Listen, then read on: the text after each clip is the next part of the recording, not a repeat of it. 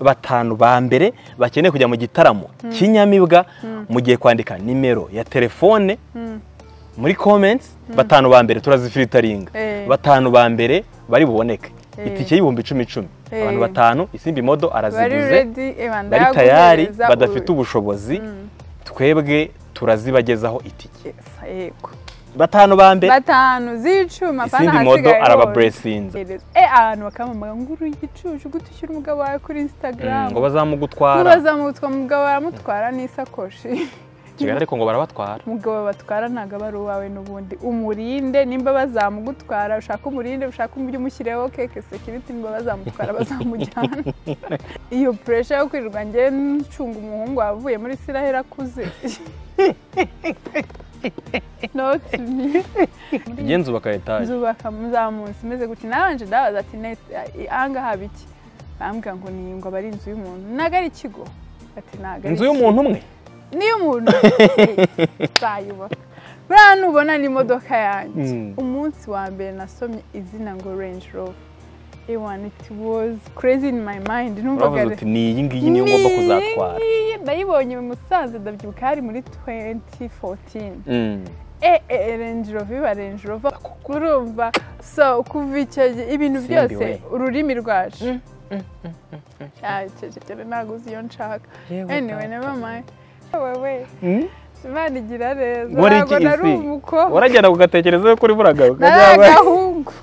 Nari agahungu kazi nari wa mwana ku ishuri utwara amaretere y'abandi. Ta, ta, nta n'umuntu waneretaga.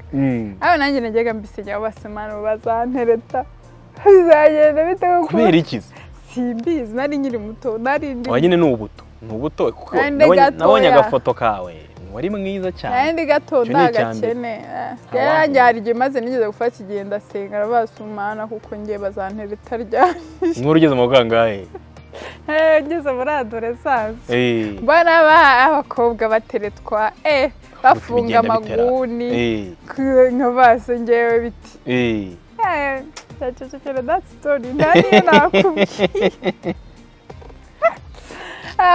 twararajyaga akunda nkatwandikira amanote we. Ari agahungu. Hi aho kakanyangara muri aho mw'abahungu mwe ntago mbasuhuje yemwe bahungu. Areka mbasuhuje nkubwire rero. Ubu ngubu ahantu arimo aravuga ati sha. Ati sha Ntago reka nkubwire cyakoze mushuhuje. ubuzima. Abana ubuzima ni ikintu kidafite aparude barahita babamenya abo bana. Mm. eh nabatwazaga amakayi. Ubikundisha kugira ngo bagukunde. Ewe ngo tube ba boyfriend. Nanjye numvaga mbabaye boyfriend.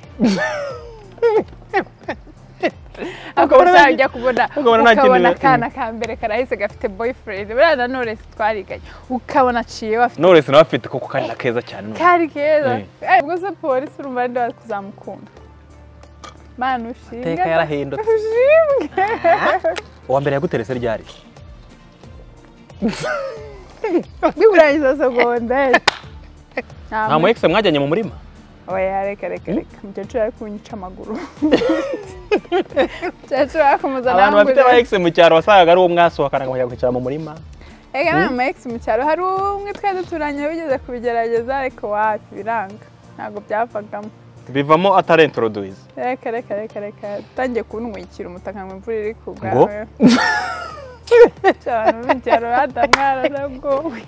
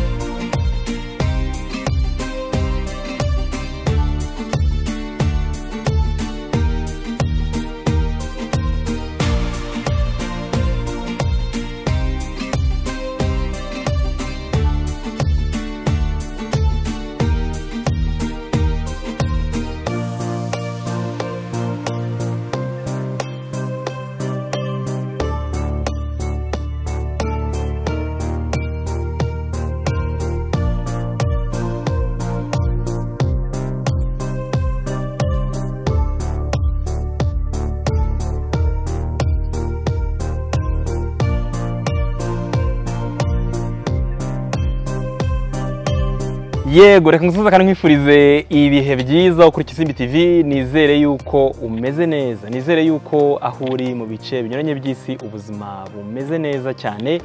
Niba utameze neza kandi ndagukomeza. Ndakubwira yuko isi tubamo niko bigenda. Uyu munsi biba ari bibi ejo bikaba byiza.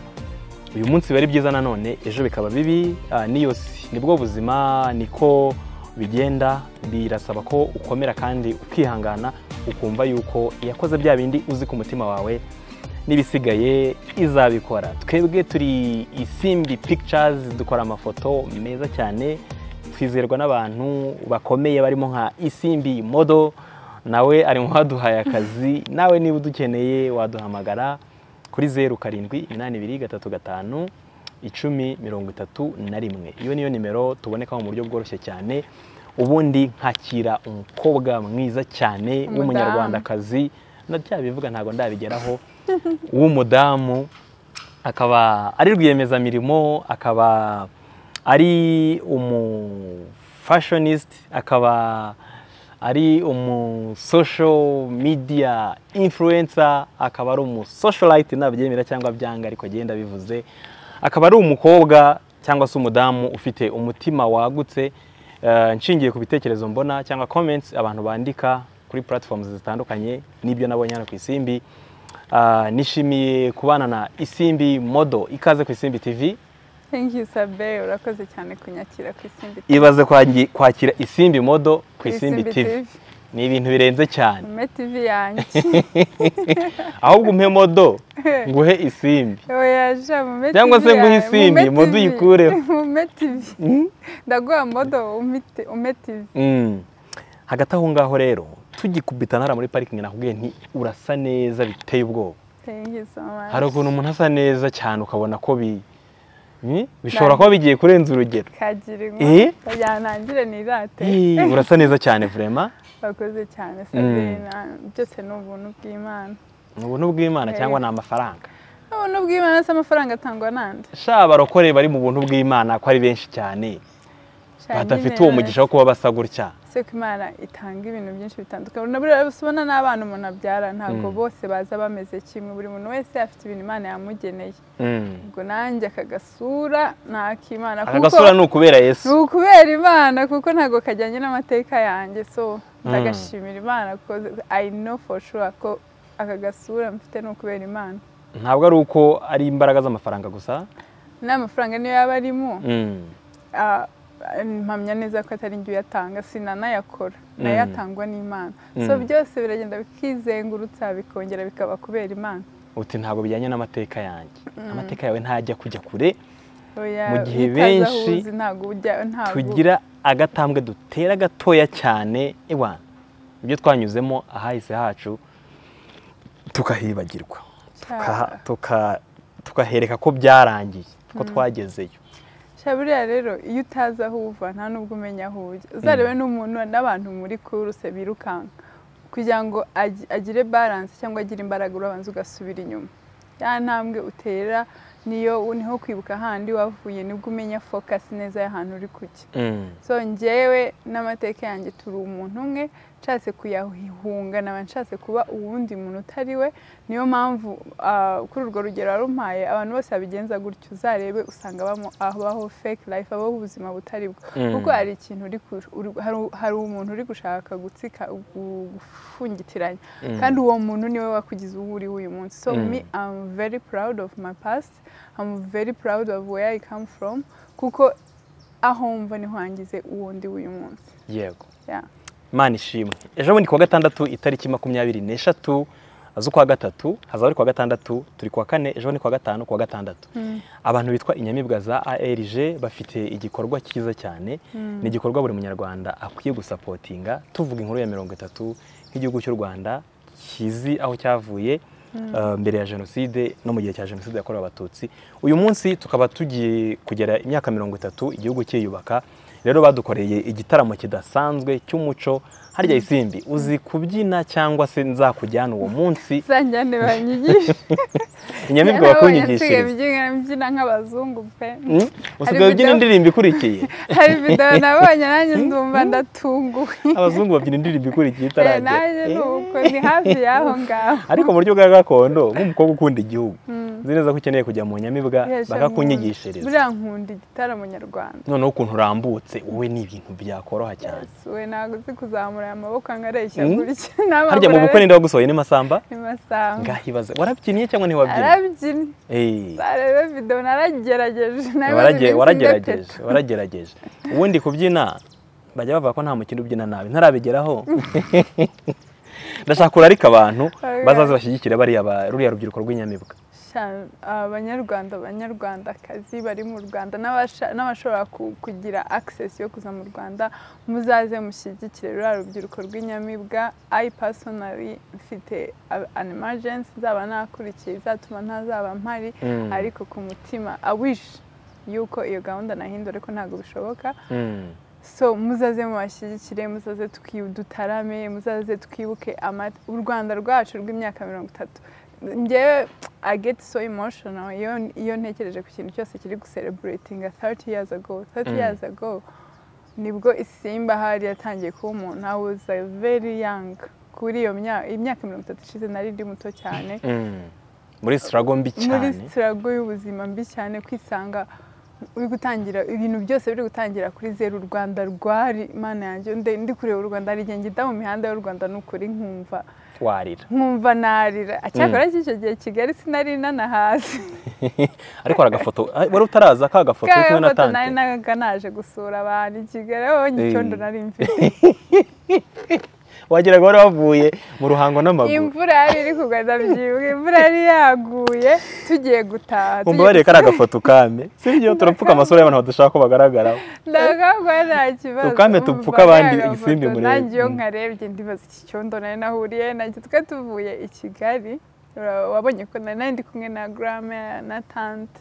Na na cousin brother wanjye na cousin sister ah, na na cousin brother wanjye na brother wanjye Mm. ariko nimba njye icyondo nari nagikuye he. Ntumbaza abandi bose babaga i kigali njye waje na, bisi se cyangwa waje n'amaguru naje na bisi uriya wari umunsi wo gutaha uriya wari umunsi wo gutaha nambaye na kapapa arankunda kanjye Mm. ahubwo numbaze ngewe cya cyondo nanjye kugeza ubu ngubu ariko hari igihe umuntu yavuye mu cyaro ntabwo wabaga uzi ukuntu bagenda bakatira icyondo cyangwa se n'uburyo umuntu yitwa Mm? umuntu yitwara. Ukuntu umuntu yitwara mu mujyi ukuntu Mm, Eh? nanjye cya cyondo mba numiwe ariko kera Mm. imihanda yo mu rwanda yari myinshi yari icyondo. Yari icyondo. Hano mu mujyi wasangaga hano mu kiyovu wasangaga bazi ko hari ahari kacyiru. Hano hano ha- hano hari ambasade ya ngaho nyine amerika tureba. Hariya nyine yari hubatse itarubakwa ambasade ya Amerika, birumvikana mbere yabaga hano ruguru hafi na za mariyoti Eh, hariya rero ni ho narindi ariko ureba icyondo cyari gihari arumiwe ni hatari. Urumva rero kuba inyamibwa bagiye gukora kiriya gikorwa nkeka ko buri munyarwanda buri munyarwanda njye nabashyigikiye atari uko ba- bagomba kutwishyura. Ahubwo nabashyigikiye kubera yuko ari ari ari turupe eh, i- i- i- i- i- ibyina mu buryo bwa gakondo Mm. ifite intego nziza ku- buzima njyewe kubera ko bw'abanyarwanda. ntazaboneka umuntu ubyifuza ariko utazaboneka.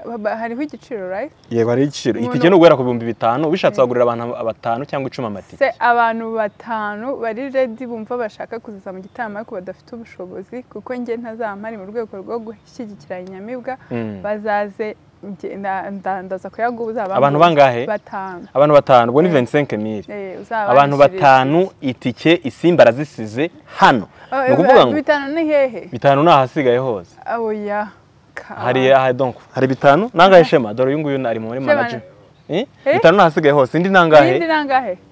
Eh? indi tike donc Oya, hari iya bitanu? nzabure y'icumi y'icumi Eh, Abantu batanu. abantu batanu. Rero kugira ngo abantu batanu tubabone. Mm, dore rero ukuntu social media ikora. Mm, batanu ba mbere bakeneye kujya mu gitaramo. Cy'inyamibwa mugiye kwandika nimero ya telefone mm. Muri comments batanu ba mbere turazifilitaringa. Eh. batanu ba mbere bari buboneke. Eh. itike y'ibihumbi icumi icumi. Eh. abantu batanu isimbi modo araziguze bari tayari badafite ubushobozi. Mm. twebwe turazibagezaho itike.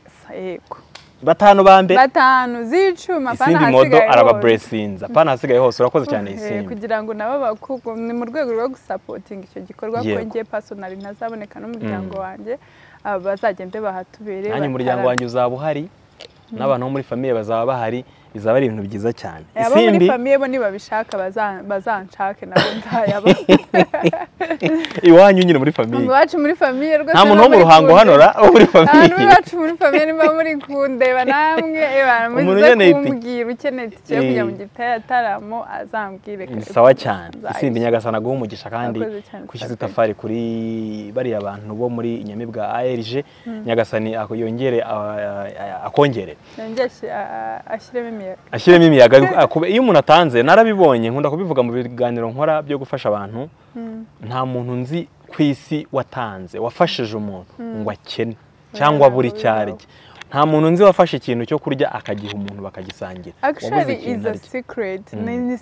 Ni- ibanga abantu benshi batamenya iyo uta imana nimba imana ikuburesinze ni ibintu biri logic Mm. imana ikuburesinze ntabwo imana turi muri cya gihe imana igisatura ijuru ikohereza amanu ngo abantu Mm. bagatoragura bakarya kuvuga ngo imana iyi- iyikuburesinze ukemera nawe gufata kuri ka kandi gake yaguhaye ugatanga uba uba deja automatically uba ubaye uh, partner w'imana Mm, uba ubaye umufatanyabikorwa. Mm. none ritangira na yo kuvuga ati ok uriya muntu namuburesinze umuntu wanjye reka mwongerere. Reka mwongere noneho abe, Mm. abe veso abe igikoresho cyo kugira ngo afashe abandi. Buriya umuntu udatanga reka mbibabwire mushaka mu nyange umuntu udatanga biragora cyane kuba watera imbere udatanga. Umuntu udafasha umuntu udafasha biragora cyane kuba watera imbere.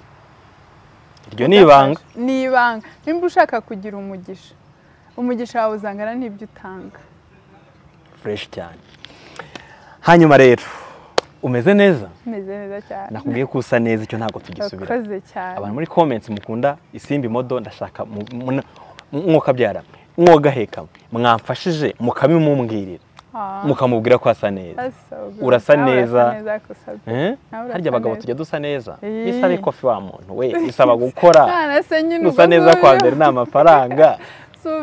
Gusa neza k'umugabo birasaba gushaka amafaranga. Nta kindi. ariko iyo umuntu Mm. afite iyo ufite amaf- amafaranga ni nk'amaraso. Buri muntu Mm. wese arayafite. It's matter of nangahe ufite Mm. cyangwa wifuza angahe njyewe ngubu ushaka kuvuga ngo amafaranga. Nkakubwira ati pari raporo y'ayandi mu mutwe. Mm, nta kintu mbona pe. Mm, ndari nkarira. Kandi wowe ku rundi ru- rugero ubona wenda hari aho umuntu yageze. So amafaranga aterwa n'ayo ufite mu mutwe wawe fasiti noneho n'ayo ufite ukuntu angana ariko iyo ufite amahoro ufite ubuzima ufite n'ibyo kurya buriya all is well. Njyewe mu buzima bwanjye mpora nshima imana. All is well in my soul. Okay. muri bizinesi biragenda mu buzima muri famiye mumeze neza? Sha biragenda. Bizinesi ze- zo ziba ari up and down. Nawe ku isoko ry'imirimo urabizi biba ari up and down. Ariko mu- Mm. mu byose ndashima imana. Yego. So far byose biragenda muri famiye biragenda umwana n'umutware bameze neza Mm. abana n'umutware bameze neza. Nta kibazo pe turashima imana. Harya umutware nawe mubara mubana eh umfashe ni we wa mbere fasiboro nuko ah, ntaribagirwa isimbi ah, afite platform mukwiye kujya mukurikira umunsi ku munsi yitwa isimbi modo vibes. Vibes ze nyine mu- musanzwe mumuzi ni umuntu uri positive ntagaruka abura negativite mu buzima bwe ariko ayafata positivite ikaganza negativite. Ngewe niko nkubona? Nibyo nzi umubwira. hanyuma iyo platform iri hano kuri youtube. Nabahaye link hasi. Wowe ukandeho gusa ugende wicare utegereze. Si byo? bakunzi b'isimbi mumfashe sibyo wowe niba wakunze ibisimbi modo cyangwa abakunze ibisimbi b'isimbi? tivi na isimbi modo Eh, basi n'abagukunda ntibankunde baze ni bangerageze turashimira imana twarenze miliyoni ni abantu benshi cyane. sibyo? Wewe ukunda guhaye komenti ntunsubize sha isimba barira urabizi neza ko ngukunda ntabwo ari uko nanze kugusubiza. Nakiriye komenti zirenga igihumbi kuri post. Ntabwo nari gusubiza buri muntu ngo bikunde congratulations by the way. Thank you. that's, that's amazing. Mm, ni I ibintu bidasanzwe. ngaho. Icyampa amafaranga ufite nkaguha abaforowazi mfite. Ah, abantu. Ibintu ni abantu. Ibintu ni abantu? Mm, harya ubwo? Cyane rwose Ah, dore umuntu afite abafollowers benshi nta mafaranga. Nk'uwaguha 1m y'abafollowers cyangwa 1m y'amadolari wahitamo iki? Isimbi modo. Na- na- 1m y'amadolari na 1m y'abafollowers nahitamo abantu. Ariko bari ariko nzi Oya, ko ndavuga turi abafollowers abafollowers rega ni abantu Eh, abaforowazi ntawamenya hari abantu baza kukureba yuko utarapfa. Eh, ni ukuvuga ngo ikintu bita ibiceri kiba kiri mu kazi. Hagati aho ukandeho kuri link naguhaye bizanshimisha nitubona isimbi arimo arambwira ati nujuje 10k ni ukuri mwarakoze. nujuje. 20k Mundebere, abantu bamforowinze abantu baragukunda baraza kujyaho. Muze kujyaho mumpe Mm. ideas. Njyewe I- I like nkunda kwiga. Kuko ntabwo nagize ubu- amahirwe yo kwiga cyane ngo minuze kuko nabyifuzaga. Ubuzima ni bwo ni we mwarimu wanjye wa buri munsi n'abantu duhurira kuri iyi mihanda. So ntugire ubwoba bwo gusharinga idea yawe umbwire icyo wumva nakosora na za accent mujya mudusukira njye ntabwo nize muri nuzi ntabwo nize muri green hills. Ariko umuhungu wawe? Wa, arahiga. Ntabwo nize muri kugira ngo iyo ngingo yumvikane neza na kavorime shema azamure ntabwo nize muri green hills Mm. nize muri ecole belge. Nimba hari accent ntakoze neza byanshimisha ko wayinyigisha kurusha uko wabikiritika njye Mm. nize muri ecole primaire do kugeza mu wa gatatu. Harya ni ekore primaire do dohe nkomero. Do nkomero. Mm. shani icyo ngicyo kabisa. Do nkomero ni icyo. mu- kugeza mu wa gatatu primaire bi- birete yanjye yazaga ari ikinyarwanda. Urabyibuka ngo ikinyarwanda imibare ibiharuro. Urumva? So man n'iki ngo kuririmba iyobokamana Eh, ngo imirimo y'amaboko. Imirimo y'amaboko. Tukajya kuboha umusambi ukawujyana ku ishuri ariko ni sawa biriya bintu byari byiza ni Mm. ukuri so ah, nimba iyo waragiriye amahirwe ntagiriye iyo accent ukaba uyizi neza iki cyongereza ukaba ukivuga neza kiri muri output kitari muri input Mm. ndakwinginze uwo kabyara we unyigishe ntu- ntuze kunsha intege Mm. unyigishe nimba ubivuga neza nanjye i would like to know nkabimenya nk'uko mwebwe mubizi. Aka Mm. kongereza mubona rwose nako nitoraguriye ku mihanda. Ni yesu ni yesu Mm. nifuza ko abantu bajya biraza kunshimisha nimbona uyu munsi. Isimbi araranye abantu ntekereza mu mutwe wanjye ntavuze Kandi birashoboka. birashoboka cyane kuko abantu baragukunda. Ah, mpereye kuri ibyo ngibyo intego. Ah, y'iyi platform wakoze ni iyihe? Urashaka kuzajya usangira iki n'abanyarwanda n'abantu bumva ikinyarwanda? Cyangwa se abasanzwe badukurikira muri rusange? Ah, so intego ya platform ya YouTube mu buzima busanzwe ngewe nakuze ndi umwana wiku- wikundira ibintu bitandukanye. Mm. Ah, nkunda social media not kubera ko wenda hari ikintu kirekire nzicururizaho ariko nda- ndazikunda this is who I am. So nyuma y'ibiganiro nagiye nkora nuko na- na- na- naho ngiriye boost abantu batangiye kumenya bagenda bambaza ibibazo byinshi. Kandi sinasubiza umuntu umwe on one on one. Niyo mpamvu navuze reka nkuriye hari abantu baza bakambaza how you do this how you do that ukora makeup Business gute ni gute wa- wa- watangira aka business gato wenda Mm. kazamuka. Ni gute abantu bazi nkunda interior designer. Ni gute wakora waza tweretse ukuntu utegura. Wazatuganirije nk'aba- nk'abakobwa bakiri bato tukureberaho. So ndavuga ibyo bintu byose buri gihe iyo ngiye kuri live abantu barambwira ngo ntabwo ujya usubiza message. Mm. kandi koko message igihumbi ndi umudamu ndi umumama ndi n'umukozi. Ntabwo ibyo message z'abantu bose nazisubiza ngo mbaricinge Mm. ariko through this platform mu biganiro bimwe na bimwe mu matopiki amwe n'amwe nzagenda mfungura wenda ushobora kumvamo icyawe mu gihe tutarahura on one on one on one, on one. Mm. niyo idea ni n'ugusharinga ideas Donc ubumenyi ufite ukabusangiza bwo- abandi ubumenyi Mm. mfite bwo ex- n- not ubumenyi like what i have learned through my experience through my life experience hari ibintu byinshi nagiye niga mu- buzima nagiye ncamo nkeka yuko wenda right now hari abandi bantu bari kubucamo Uh, for example njye ngira umutwaro munini cyane ku bana b'abakobwa babyaye ba- babyariye mu rugo Mm. cyangwa se babyaye batarashaka Mm. baba single, parent Mm. I was a young single parent and it's so frustrating ni cyo kintu cya mbere gikomeye kuba na nabyaye mfite imyaka makumyabiri n'umwe. So hari abandi bana bari muri position yanjye. Bakeneye that word of encouragement. Bakeneye kureba isimbi bakavuga ati ubwo numvise wenda isimbi ari kubivuga. Yarabiciyemo. Right now akaba ameze neza nanjye mfite icyizere cy'ubuzima. Hari n'utundi dutipusi dukeya wagenda umwigisha kugira ngo atazisanga muri cya kibazo nanone Mm. so ibyo ngibyo ni byo bintu nshaka cyane guhuriza cyane ikintu bita bizinesi no Eh. kubona amafaranga. Benshi ni cyo kintu baba bagushakira. Ya bizinesi wayizi ibintu byo ndi umukirisitu ibintu byo gus- ibintu bya bizinesi ukuntu bizinesi wayivanga n'imana bikagenda. Kuko njye nizera yuko nta kintu na kimwe niyo myizerere yanjye nizera ko nta kintu na kimwe. Kibaho muri ubu buzima imana itagifitemo itagifitemo uruhare Mm. so business together iyo uyihuje n'imana biragenda. Kuri right now kuba umuntu yakora ikintu kikagenda. Ntabwo ari uko dufite ubumenyi burusha abandi. Bamwe Mm. twavuye mu byaro. Ariko ni ukubera iki imana ikujya imbere? Ikakubwira ngo nzakujya imbere ahataringaniye mparinganize. Mm. so ibyo ngibyo ni byo nshaka gusharinga abanyarwanda cyane cyane urubyiruko. Urubyiruko dufite abana bari frustrated batazi icyo gukora. Badashaka Mm. gukora utuzi tubi ngo amenye ngo nimba ambonye kuri isimbi tv nambaye kositimu y'umweru agashaka iyo ngiyo. Ariko ntabwo azi ko isimbi wenda wigeze guhinga wahingiye amafaranga. Ntabwo azi ko wenda wigeze kuba umuseriveri. Ntabwo azi ko wenda wafuriye wa- wa- wafu- wa- wafuze. So i want to kugira ngo ubone icyo kurya. Kugira ngo ubone icyo kurya kugira ngo na wa mwana wabyaye utazamwikuraho ukajya tubona abantu babyara abana bakasiga iwabo. Cyane. Na wa mwana dukore generation zitarimo ibikomere. Kuko wa mwana wasize hariya agakura yita nyirakuru cyangwa nyirakuruza mama. We ntabwo azakumenya Mm. ariko ushobora kumwizirikaho ibintu bikazashyira hamwe n'imana ibintu bikaza- bikazashyira bigakunda ugatangira utuntu dukeya dutoya wenda witwa ko dusuzuguritse uyu Mm. munsi ariko rero na turabona abana bahura n'icyo kibazo Mm.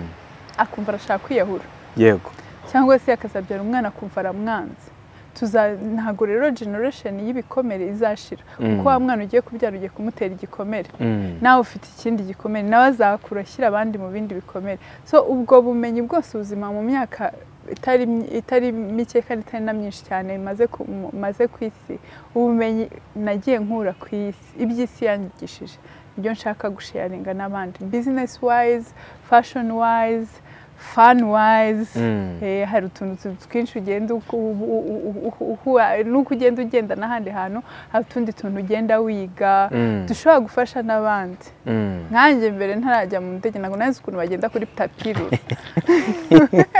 ntabwo nazi ukuntu bagenda kuri tapirura nk'umunsi wa mbere naravugaga ati nagendaga nk'u- nk'ugiye nk'utorotse nkihangana ah, ugafunga umwuka.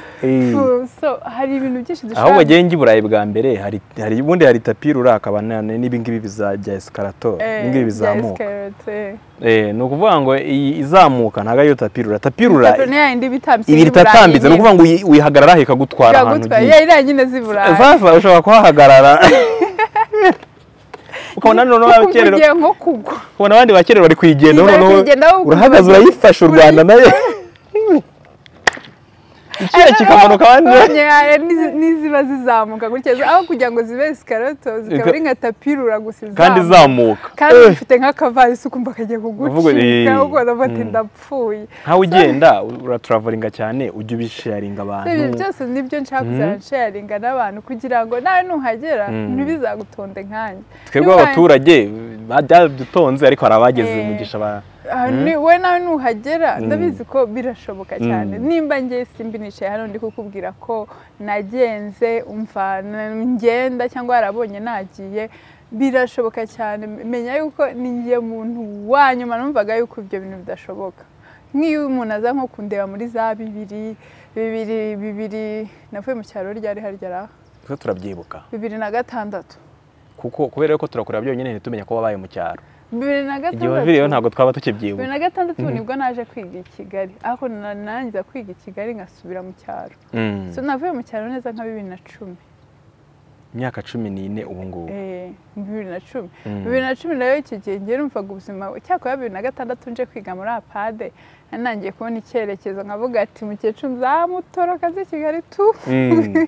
utangiye kubona itara. Utangiye Mm. kubona itara wagasubira Utuvuta. mu cyaro. Mm. ewe Mm. abandi bana bakaza barakeye wowe ukaza warabaye urwirunga komanukira mbese byabaga ari emverise njyewe vakansi yanjye niyo yabaga ari intuzi niyo yabaga ari ari- niyo yabaga ari mbi. Abandi muri vakansi bagaruka bavuga amafilime barebye twagiye kuri mvuga ibishyimbo nashingiriye aha n'ababeshyaga ngo urumva ngo nagiye i burayi ngo gusura tante. I burayi twahumvaga mu bitabo eh. gusa nanjye i burayi nahumva uyu mwana umwe gutya gusa. Abatante be ngo bagiye kera ngo muri za suwise ngo baje. Mm. hehe. Hano ushobora gusanga yaranakubeshyaga oya ataragiye. Bari baje. Yari yagiye se? oya nawe ntiyigeze ajyayo ariko Mm. baraje bazana imyenda tukajya tuyimutira tukayifotozanya koko. Akayimusubiza tukayimusiga mumwubaha cyane. Tuyave buri kintu avuze ari cyo. Cyane.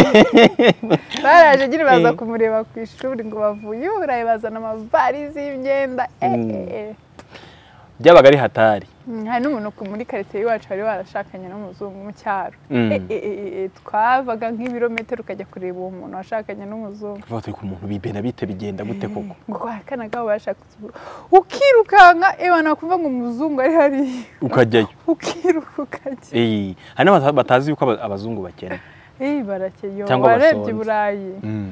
ijana ni cyo kintu cya mbere cya burekinze my heart nkijya i burayi bwa mbere. Uka cyangwa simbi yagiyeyo bwa mbere ryari haryo ubwo bibiri na cumi n'umunani. Yagiye mu butaliyani bibiri na cumi n'umunani bwa mbere. Mm. ni vuba. Ni vuba ni vuba n'ejo ugezeyo uravuga uti yo nabo bajya bakena koko? Barasabiriza bigakunda. kandi beza sha abandi baje muri afurika twabonaga. Baje hano muri afurika babasabira ni ukuvuga ngo ari njye ubona umuz- umuzungu uri mu buzima bubi uri ku muhanda usabiriza. Ukavuga uti uyu nguyu wamutereka i kigali. buri mukobwa ni we yashaka gukundana iyi nawe. ewe Kwibaza banamurwanira Mm. bro. Ejo bundi sha mu bufaransa hari hakonje noneho hakonje cyane kabisa muri ko yari muri winter. Ukabona sha umuntu udafite n'amasogisi. Amasogisi ibirenge bya- bya- byarabaye umweru. Mm. aryamye ku muhanda ukavuga komana ubuzima byose birashoboka. Kandi hano twebwe twakuze tuzi yuko nta muzungu ukena. Wowe Eh, wari ubizi. eh, kandi ibyo ngibyo ari ukuri. Ubundi se mwokabyara mwe mwe mudukurikiye hari umuzungu ukena. Aba njye naje gusanga naje kureba abantu bose nzi mbacishamo ijisho buriya hari umuntu ukubwira ati jyewe umuzungu nubwo yaba akora ibiki nubwo yaba aturuka mu muryango umeze gute aramutse angize umugore. Amateka yanjye yaba ahindutse yo yangana. Hari n'umubwira ati tubyarane gusa. Akagenda Eh, umuhinde cyangwa umushinwa akamutera inda cyangwa abajya imihanda. ubona ntabwo ujya ubona bataye abana hano. Atekereza yuko amateka agiye guhinduka. Ujya ubona bataye mva ntibazakubeshye none abana muhurire inaha yewe mujye musenga imana abo ngabo nibo ugomba guhindura imyumvire rero biciye muri mu biganiro uzajya ukora ikuyobore reka nkubwire imana yakubakiye wakubakana n'umunyarwanda bikaba neza wakubakana n'umuzungu bikaba nabi mugakena imana itagutabaye nta muntu n'umwe sabe wagutabara. Mm. nta n'uyu n'umwe. Niyo ushobora no guhura n'umubiriyoniye ariko akagira. Ugasanga nawe yifitiye ibishitani by'akazaranka agukubita cyangwa bikajya birara bituma mushikagurika cyangwa naguhe respect. Cyangwa ntanayaguheho cyangwa ntayaguhe ukajya urya gusa ukaryama. Ukarya ukaryama. Nabo umukobwa nabonye yatanze ikiganiro ahantu ngo ya- yara- yararyaga gusa akaryama matamu yavuga ati ndaza i kigali bakamuhereza bakamwishyurira hoteli. Hamwe n'amadolari akaryama. akaza akaryama kandi ahandi hantu wabona waragezeyo wapi? Hari ikintu wavuze rero nshaka ko tugarukaho isimbi ubwo twinjiye mu kiganiro nabanje kubwira abantu ko ufite platform ako kari niyo tugakuyemo kandi nanjye kukavugaho. Gasubizemo. N'utwiso twawe mara twabaye nk'utw'abashinwa.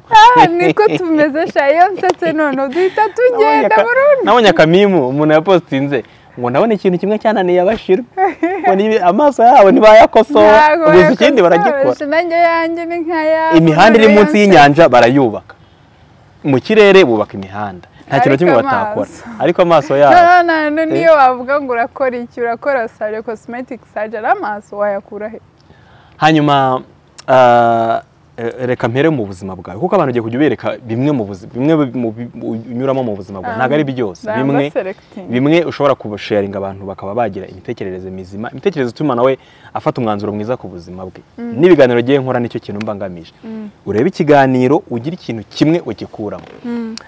Akenshi umuntu ashobora cyangwa se mu bagukunda mu bagukurikira ashobora kukubona kuri social media ifoto yawe irimo iraturendinga cyangwa umuntu runaka cyangwa ikinyamakuru runaka- cyayipositinze cyangwa se wapositinze akantu runaka kuri snapchat uvuye kugura rinete muri guci uvuye kugura sakoshi muri givenci waguze isahe cyangwa impeta wa- weyishyura ibihumbi icumi by'amadolari akavuga ati no ibi ntabwo bibaho.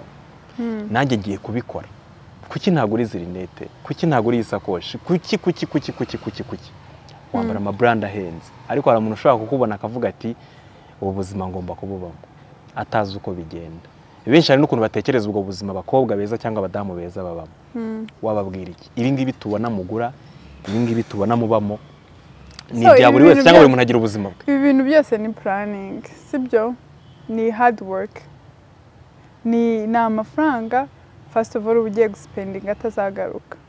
Uriya mafaranga usipendinga atazagaruka ni amafaranga uba uri redi yo kuvuga ngo nyatakaje nta kibazo sibyo? Akantu k'amadolari bababarisha ntabwo nari nabibonye. Uri kumva? Atuma banseka. So ndi kuvuga ikintu ndi kuvuga Mm.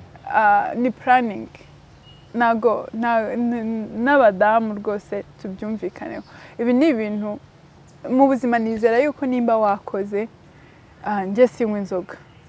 Sinsohoka ntuzambona mu kabari ndi gupopinga champagne izi nizo champagne zanjye sibyo? Niyo nkuru- isimbi ukagura isakoshi ibihumbi bingahe By'ama- by'amayero ukayitwara ukumva ariyo swingi ari cyo kintu kiguta. Actually this is how it's supposed to be. Ntago ntago mu bindi bihu- mu bindi bihugu ah, wenda bada- badafite access kuri kuri second quality cyangwa second hand cyangwa chinese quality bo ni ibintu bisanzwe. mahitamo ni bwo nta bandi mahitamo. So nimba nguze ikintu actually ngiye umugabo wanjye ni we wigeze kumbwira turi kubaka. Arambwira ngo papa yajyaga amubwira ngo we are too poor to buy cheap. Mm. ni ukuvuga ngo nimba ugu- uguze ikintu tuvuge wenda uguze nk'iyi Uguze shakoshi isakoshi uguze iyi shakoshi uguze ntuza chinese version yayo sibyo Mm. urayigura mu bihumbi mirongo itanu mirongo itandatu mirongo inani. Cyangwa veni zirahari. Ma- abantu bazigurisha bazigurisha. Makumyabiri na bitanu ze Eh. nzayihamo umuntu kado makumyabiri na bitanu. Iyi givenci mubonana isimbi modo njye nzayihamo kado makumyabiri na bitanu. Ah, buri buri mezi atandatu Mm. izaba imaze gushishuka cyangwa atatu nimba uyikoresha cyane. Ugura iyindi. Mu myaka icumi uzaba umaze gusipendinga amafaranga angahe? Icyiza cyanyu mwebwe rero iyi sakoshi n'ubundi wigura bitatu by'amayero nyuma y'ukwezi kumwe ukagura indi. Abakire kugira ngo babera abana beza. ujye uhinduranya rega niba ufite kamwe uhora utagahinduranya ariko nikamubwire nimba uguze ishakoshi tuvuge cyangwa y'ibihumbi bingahe? Ni kadasitere mu cyaro wowe ukabyara we nyine nanjye ikintu nakubwiye. Ni Mm. planning. If you can afford it sibyo twese twakuranye inzozi uvuga ngo mana nzatura i kigali bigenze gute? Mana wenda nzicara muri radisoni this is this was my dream. Sibyo? Mm. kandi i worked very hard. Ntabwo ari ibintu byaje mu gitondo ngo nangire mbyuke ngo ngende ngo ngende ngo naguze. Ni ibintu puraninga ukareba mbese aya mafaranga nyakuyemo nta kintu naba mpungabanyije. Mm. ntabwo ari ibintu ujya kugura umwana bari kumwirukana ku ishuri. Mm. ntabwo ari ibintu ujya kugura waba uraye cyangwa byo? wabanje gutera umuntu kaci cyangwa wabanje uku- kujya kuguza umuntu cyangwa wabanje kwica umuntu cyangwa waciye mu zindi nzira mbi Mm. ni ikintu wihemba uvuga ati "Ne- ne- na- naragishakaga now thank God I can afford it Mm. sibyo ukumva nimba uri umugore nkanjye ndubatse ukabanza ukareba mukareba muri finance ya famiye yanyu. Ndetse ningura iki kintu ntabwo kiri buduhungabanye financially. Mm. ese njye n'umugabo wanjye turabyumvikanaho wakumva bivamo go ahead. Nimba Mm. wumva bita- bitavamo ngewe amabiriva.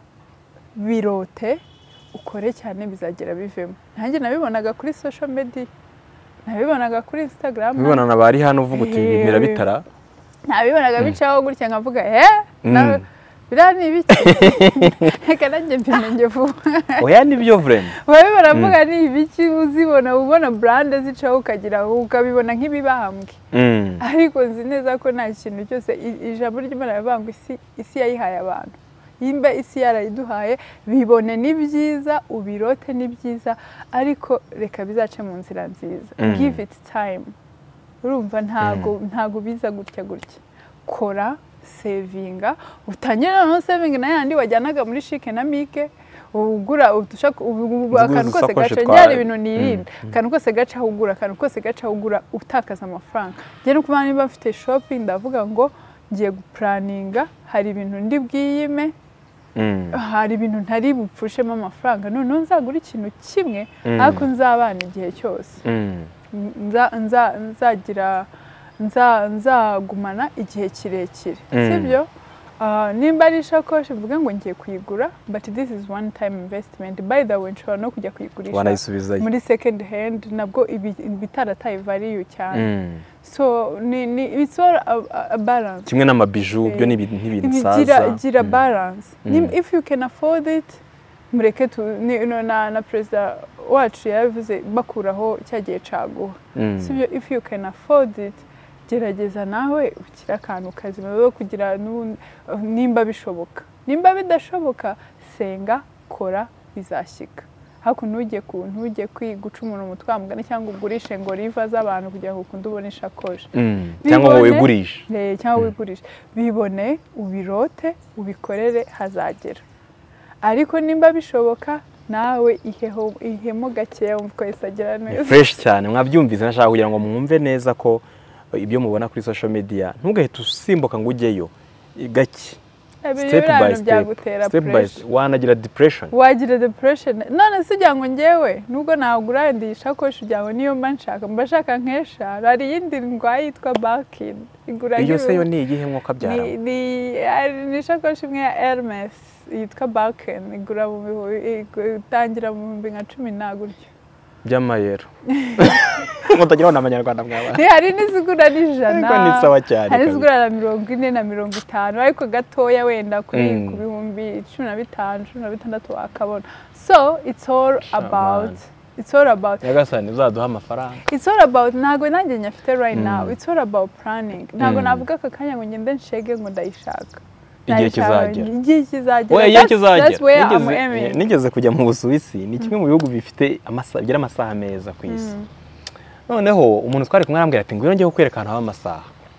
Numvaga ushobora kubona isaha ibihumbi amadolari magana atanu amadolari igihumbi amadolari magana atatu. Hano ni kigali uba wemeje abantu ni ukuri ako kantu kaba ari akantu keza?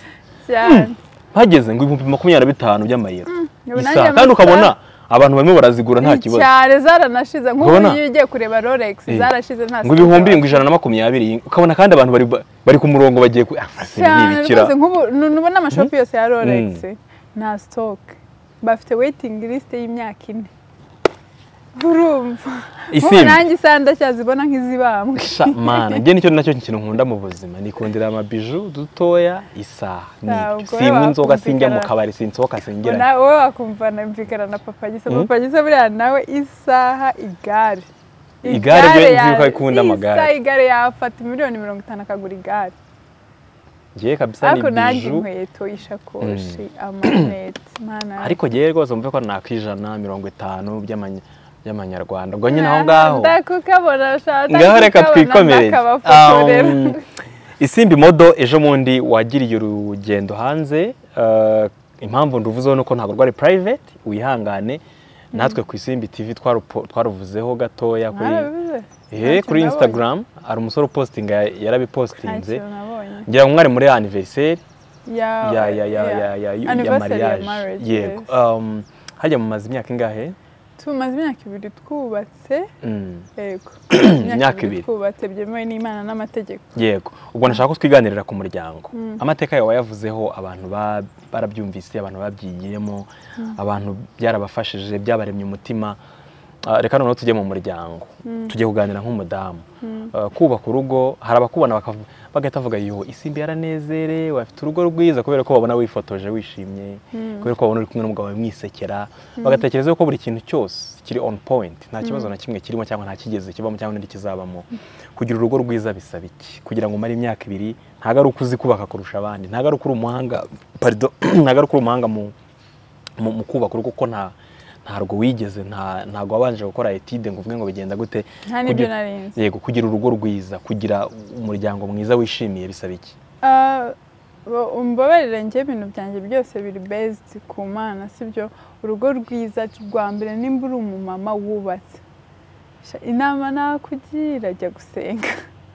Kuko kwa kundi urugo ruri rwiza. Mm. niko satani nawe waguhiga first of all satani yanga umuryango.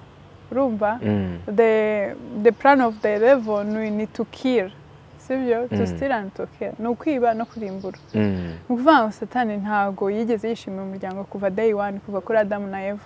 Ntago agiye gutangira kugwa kuri wowe kese nimba uri umukobwa we. Ariko nabwo niba waba umukobwa we nawe nabwo sinzi ko bizapfa kwemera. So ikintu cya mbere ni ukurusengera. Icya kabiri ni communication. Menya ngo uyu muntu tugiye kubana for the rest of the my life until death do us apart ni we muntu wa mbere ni best friend. Mbese ni akara ko mu mara yawe nyine. Mm. niyo muntu mugomba kuganira ibintu byose. Nta kumubwira ngo nta kumubwira ngo ubu ngo ndi mu mujyi ngo mu kanya baze kumubwira ati simbi yicaye hano ari gukora ikiganiro. Mm. urumva ni wa ni communication. Kandi mu kintu kintu tunanira cyane ni communication. Muba muri abantu babiri bahuye Mm. batandukanye. Afite aho yakuriye afite uh, background story yiwe Mm. nawe ufite iyawe bitandukanye. Cyane cyane abantu benshi. Ntabwo ari benshi bakunda guhuza. Mm. usanga abantu benshi bashakana. Opposite attract. Mm. usanga abantu benshi ba- ba- bashakana baba batandukanye cyane. So ni ukuvuga ngo icya mbere kugira ngo ugire urugo rwiza. Urugo rubamo intambara. Nyinshi cyane pe. Mm. So, I don't know, ni nawe urubatse nawe wanshyigikira Mm. ingo zibamo ibintu. Kuko ni abantu babiri muhuye abantu bajya bavuga ngo twahuye ngo ufite amenyo mirongo itatu n'abiri. Ukuze nyine. Mm. ni ukuvuga rero ngo nimba umuntu umuhuye ufite amenyo mirongo itatu n'abiri koko. Sibyo? Mm. Afite aho aturutse. Nkanjye umugabo wanjye yaturutse muri isiraheli Mm. niturukira igitwe. Ama village girl niturukira mu nkomeri iyo ngiyo Eh. sibyo we dufite background zihabanye N'amateka noneho anyuranye biteye ubwoba. n'uruhu rurahabanye n'ururimi rurahabanye uretse ubuntu bw'imana urambwira ko uwo muntu ari iki kindi cyabahuza nta kindi cyabahuza ni ya- mana ifite dufitiye igeno noneho hakabaho amasengesho na communication Mm. n'urukundo. Let's the beginning the motive yo gushaka kwawe biba urukundo. Kuko niba bitaba urukundo uzageramo nimba warakurikiye amafaranga bitangiye kugenda nabi. Uzagira depression uziyahura uzagenda nimba wari uzi ko urugo ari ukwifotoza amafoto meza Aguteruye. Ugere wagere nkanjye ndireba ukuntu ndeshya uzi ubunga wanterura akanje Ah, guterura da umuntu unyonga igare akabaraga waraguterura buriya rero kakubwira umuntu ahubwo buri muntu ntabwo aterurwa hari abadaterurwa umuntu mureshya burya ngo umuterura biragoye muri filime kera ntabwo bibaga kumva ari nawe bazajya ni uko bizajya udufite bigenda imyanya nanjye bizashakaga umugabo ngo nzansoma ngo ndeba gutya. Ngo Umureba gutya gutya nk'igiti nga- nkibagirwa ukuntu ndeshya. Mm. metero nzahambara eshatu. gutya akanzamura bro. Manu ukuze ku isi. Mm. manu ukuze ku isi. Umugabo wanjye turareshya andusha nka santimetero imwe. Mm. nambara umugabo umuntu mureshya umugabo wanjye wamubonye ari fit arananutse ntabwo abyibushye na- ngambwira yanteruye twese twa- yanterura ntabwo yo kuvuga ngo ntiyanshobora ariko ntabwo yanterura ngo anjugunye hariya kwa kundi umuntu yabibonaga muri filime ntabyo wabonaga muri filime watekereza ku rugo rwawe. Hagati aho sinku- sinkubuze kukuvanamo akarinete wari washatse kukavanamo kureba ntabyo isimbi modo yabonaga muri filime kera. By'umwihariko filime z'impinde ukumva neza mm? of course iyo ukiri umwadolesa Mm.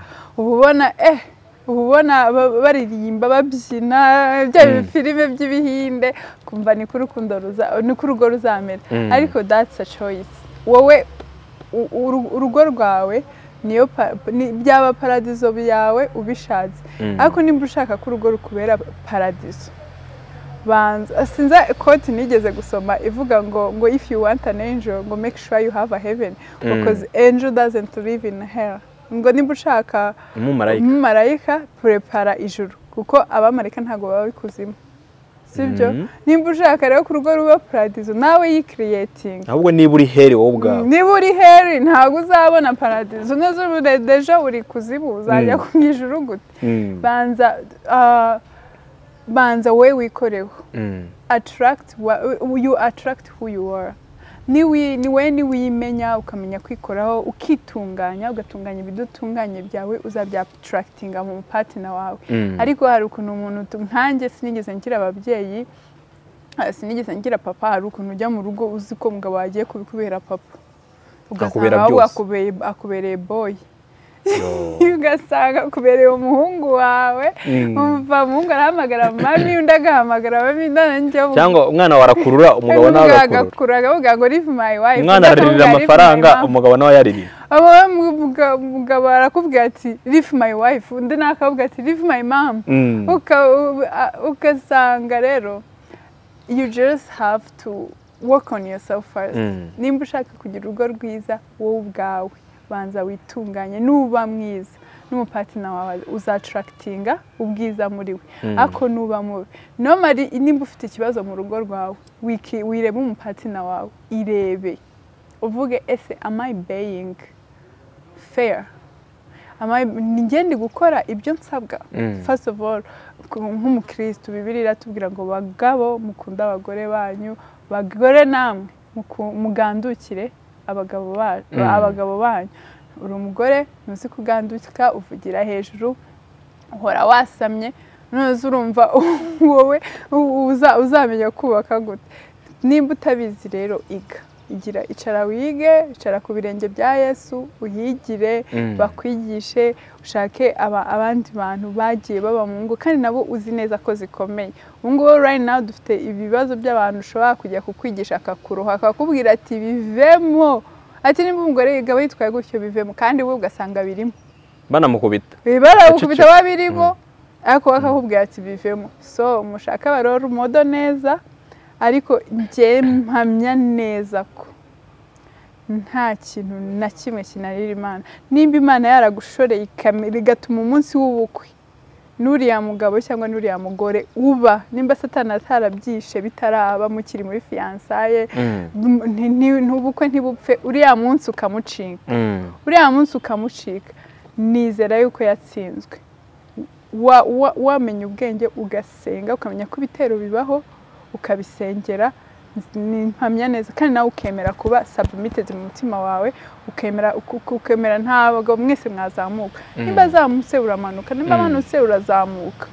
Mukagira balance ni mpamya neza ko byose bishoboka na rwa rugo rwiza rushoboka. Isimbi modo ni we turi kuganira nawe nzi neza ko benshi mumukunda benshi muzi amateka ye benshi mwanamenye ko afite platform nshyashya yitwa isimbi modo Vibes. mujyeho mube mukanda subscribe ubundi muri tayari. Youtube channel guys. Hello guys I was waiting to say ugiye kujya ubivuga nzabivuga Eh? I was waiting to say that. Ngo Eh. hey guys welcome to my YouTube channel. Today? Today's episode. Eh? Ibyo bintu nari nabishakaga kuva hanyuma rero um, anyways mube mujyaho kurikira isimbi ni umuntu wacu. Mwamforo Nzaguha nabonye ukuboko bavuga ngo uko mwamforo winze ko ndi Mm. umuntu wanyu. Mm. Tuzaguha ukuboko aho bishoboka aho uzadukenera.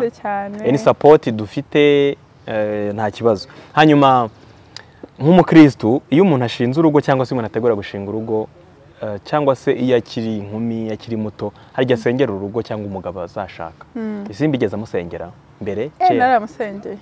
Ariko namusengeye purita namusengeye umugabo wanjye umuntu tuzabana.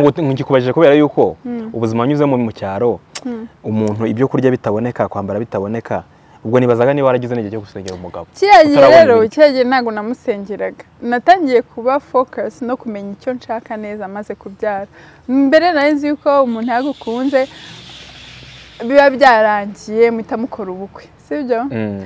maze kubyara ni bwo nafunguye amaso ndavuga warahumutse Mm. now umuntu uzanshaka ntabwo ari njye gusa. I have a son. Sibyo agomba nawe gukunda akemera kumubera. Bisa akemera ko right now mfuye umwana wanjye ntabwo yajya kwa nyogokuru nta handi yajya yajya ku mugabo wanjye. Mm. sibyo umuntu nzatrustinga with my own blood. Ni we natangiye gusengera rero ntangira kumusengera ntangira kuba mani umutegure kuko njye it was a deal breaker kuza wankunda niyo wankunda ukama ijoro utakunze umwana wanjye. Nta kintu waza umbwira. It was a red flag. Eh, nabonaga ari abantu benshi bambwira ati si nta hantu uriya mwana.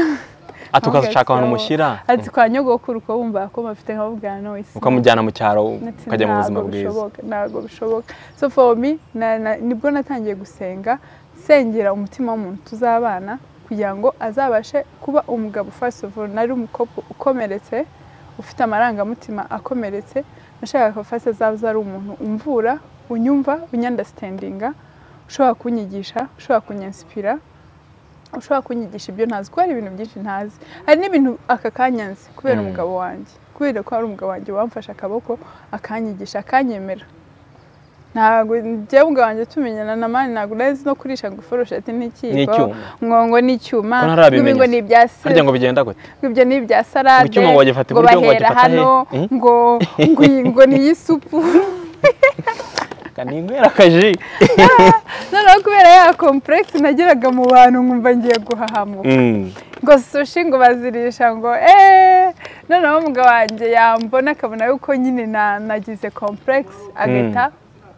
Agahita afata agakaraba nimba ari sushi tukazirisha intoki twese. Mm. kubera ko nta utarabimenya. Eh kuko ntarabimenya. Nye akabona nimbikora njye nyine biraba nabi. We Mm. agahita akaraba intoki nanjye ngakaraba tugahita turisha intoki. Urumva? So nashakaga uwo muntu uzaza abasha I am. Akakwakirana n'amateka yawe. eh, where I come from akemera kunyigisha akemera kuba patient. Nari umwana muto ukomereze ukomereze ukomeretse. Bya hato umugabo wanjye ni we wakubwira Jane nari nkomeretse ku buryo numvaga ntazi ko hari umuntu wankunda. So nari nkeneye umuntu unyereka ko urukundo rubaho first of all. Mm. akankunda noneho ikiruta byose akankundira umwana kurusha uko ankunda. Harya ubwo umuntu wavuze ko uzajya wigisha aba single mom Mm. uh, ariko ubwo n'aba- n'aba single dadi nabo uzabigisha basinga dadi ntabwo nzi ibyo baciyemo. Ngewe mani uzajya ugerageza usome. uzajya ugerageza usome. Kuko hari umutipe wabyaye umukobwa yasigiye umwana amusigarana wenyine. nagutuburira ni ukuri. Nzabigisha based on my, experience. Nakwigisha itanzi iby'abasingo dadi Mm, bacamo harya ubwo umuntu amenya ryari ko kuko hari umudamu ukubwira ati jyewe yaje ambwira ngo ankundi- azankundira umwana cyangwa azankundira abana. Mm. ariko uh, hari n'u- hari n'ubica. Hari n'ubafata ku ngufu. Umuntu yizera ryari ko ibyo umupatina yakubwiye ari byo? Ari ukuri. Ko rero abana. reka nkubwize ukuri. As a mom as nk'umu- nk'umumama Mm, ntabwo ntabwo ujya wumva this is me being ntabwo njya nkunda guca hirya no hino. Mm. this is me being honest.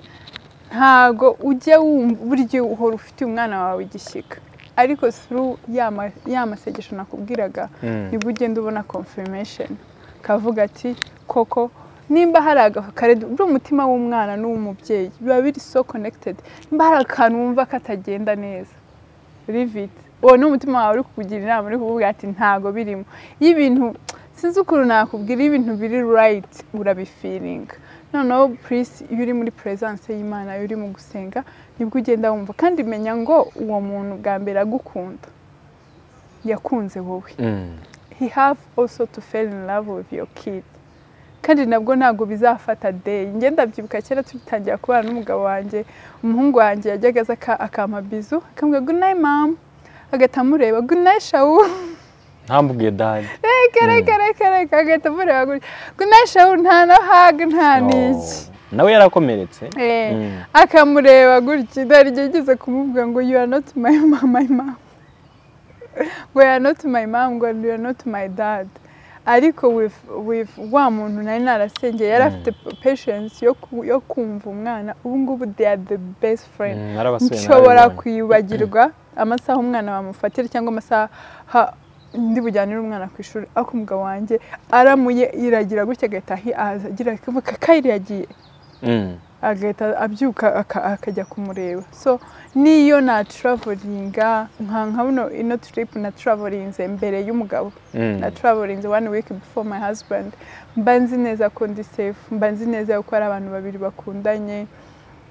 So ya masengesho na na na feeling yo mu mutima wawe. Imana yashyize instincts. Imana Mm. yagushyize mu, mu, mu mutima Kandi zo ntizibeshya. zo ntizibeshya Mm. instincts ntabwo zijya kwa kundi uba wumva ikintu uvuga uti ariko umutima nama akubwira ati oya. Eh. ukongera oya. Ukongera oya. Igihe ubona kubera ububabare bw'ubuzima ukavuga ati reka mpfe kwifatira azahinduka ariko icyo umutima wawe wakubwiye bwa mbere ni icyo ngicyo. Mm. ni hahandi usanga abantu bagerayo bakagerageza bikanga.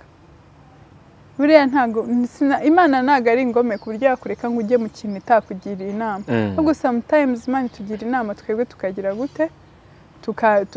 Cyangwa ntitugisha n'inama Mm. n'imana ariko sayinzi inzozi ngenda umuntu urota cyane. Cyane cyane iyo ndi gusenga ni mu bihe byiza byo gusenga. Zibivamo Mm, impamo byahatari kuri nshobora kukuroza sinzongera ko kwi- sinzongera ko kwitaba ntinya umuntu umbwira ati ngewe hari ibintu narose kandi ngewe inzozi zanjye ntabwo sinjya kurota ibintu byembyembye nk'ubu Mm. nkarota ibintu noneho nkaza bino nkavuga ati ni deja vu. Ariko ibyo byose ni ubuntu bw'imana. Ijambo ry'imana ravuga ngo imana iganira n'abana b'abantu mu bitotsi dushyizweho. Nibwo imana iganira Dushyizweyo.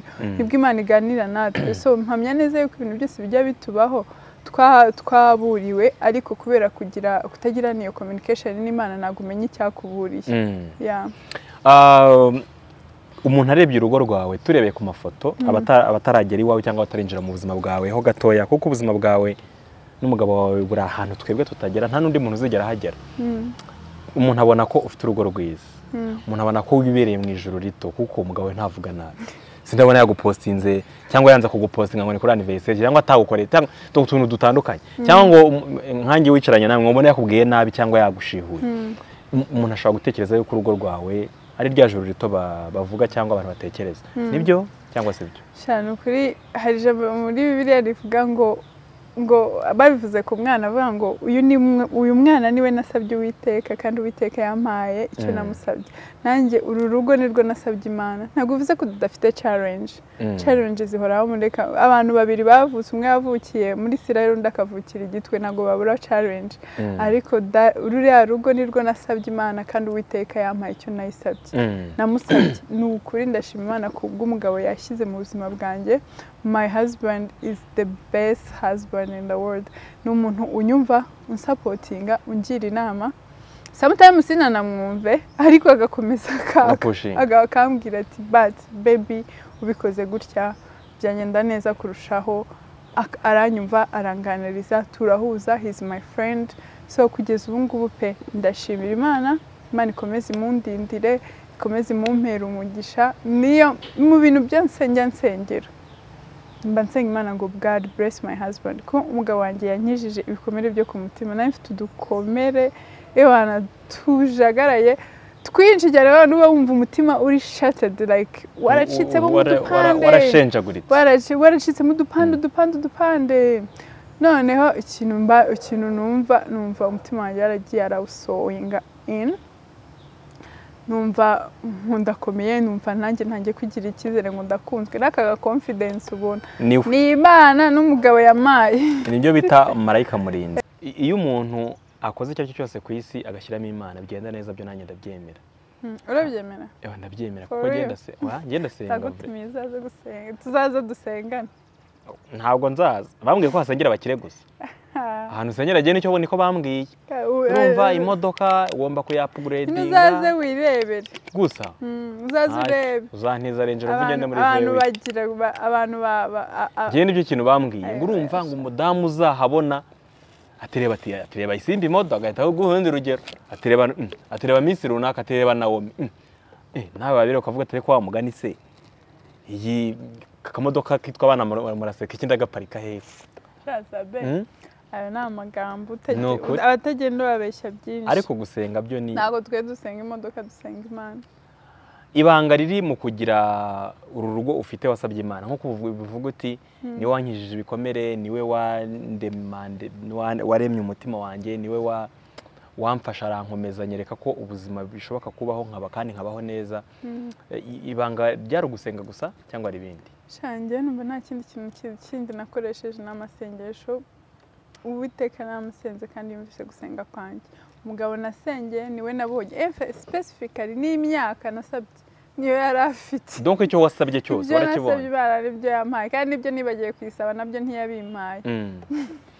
kugira urugo rwiza uh, benshi babi- babi- babi- babi- babi- babi- babihuza Mm. mu buryo bwo kwibeshya cyane n'amafaranga.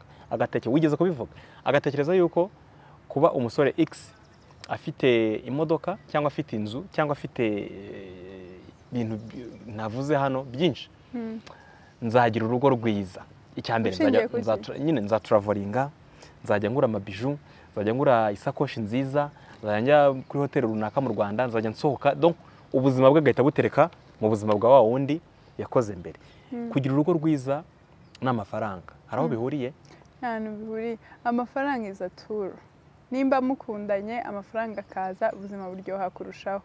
Nimba mu- muta- mutavuga rumwe amafaranga akaza azaba separatinga noneho kurusha uko mwari muri separated. Mm. amafaranga iza turu yiyongera urugo rurabanza rwa rukundo rwabahuje ya communication ya friendship then amafaranga yaza ikintu aza, ari spice. Ni nko guteka ibiryo eh, uga- ugashyiramo umunyu. Umunyu ntago ari ntago ari mire. Mm. ariko wa munyu uraza kuryoshya bya biryo. Bya birungo wongera mu biryo. Mm. biraza kubiryoshya ariko ntabwo biba ibyo bikoze ibiryo. You get? Mm. so amafaranga iyo aje mu rugo rurimo amahoro rurimo urukundo biraryoha. Ni handi mujya mu mavakanse mukabona mwaryohewe amafoto agasohoka asa neza. Buriya nta muntu ushobora gufeka ifoto utishimye biragaragara. Ariko hari abashaka abanyarwanda tuko tuzifekingara Ntago mbizi njye ifoto umunyarwanda ashobora kuyifekinga rwose akakwereka yuko yishimye. Njye sinabishobora none simba abantu tubona kuri social media bapostinga ngo nuko bishimye kandi bishimye. Nuko baba bishimye Ntabwo cyangwa habamo na fake life.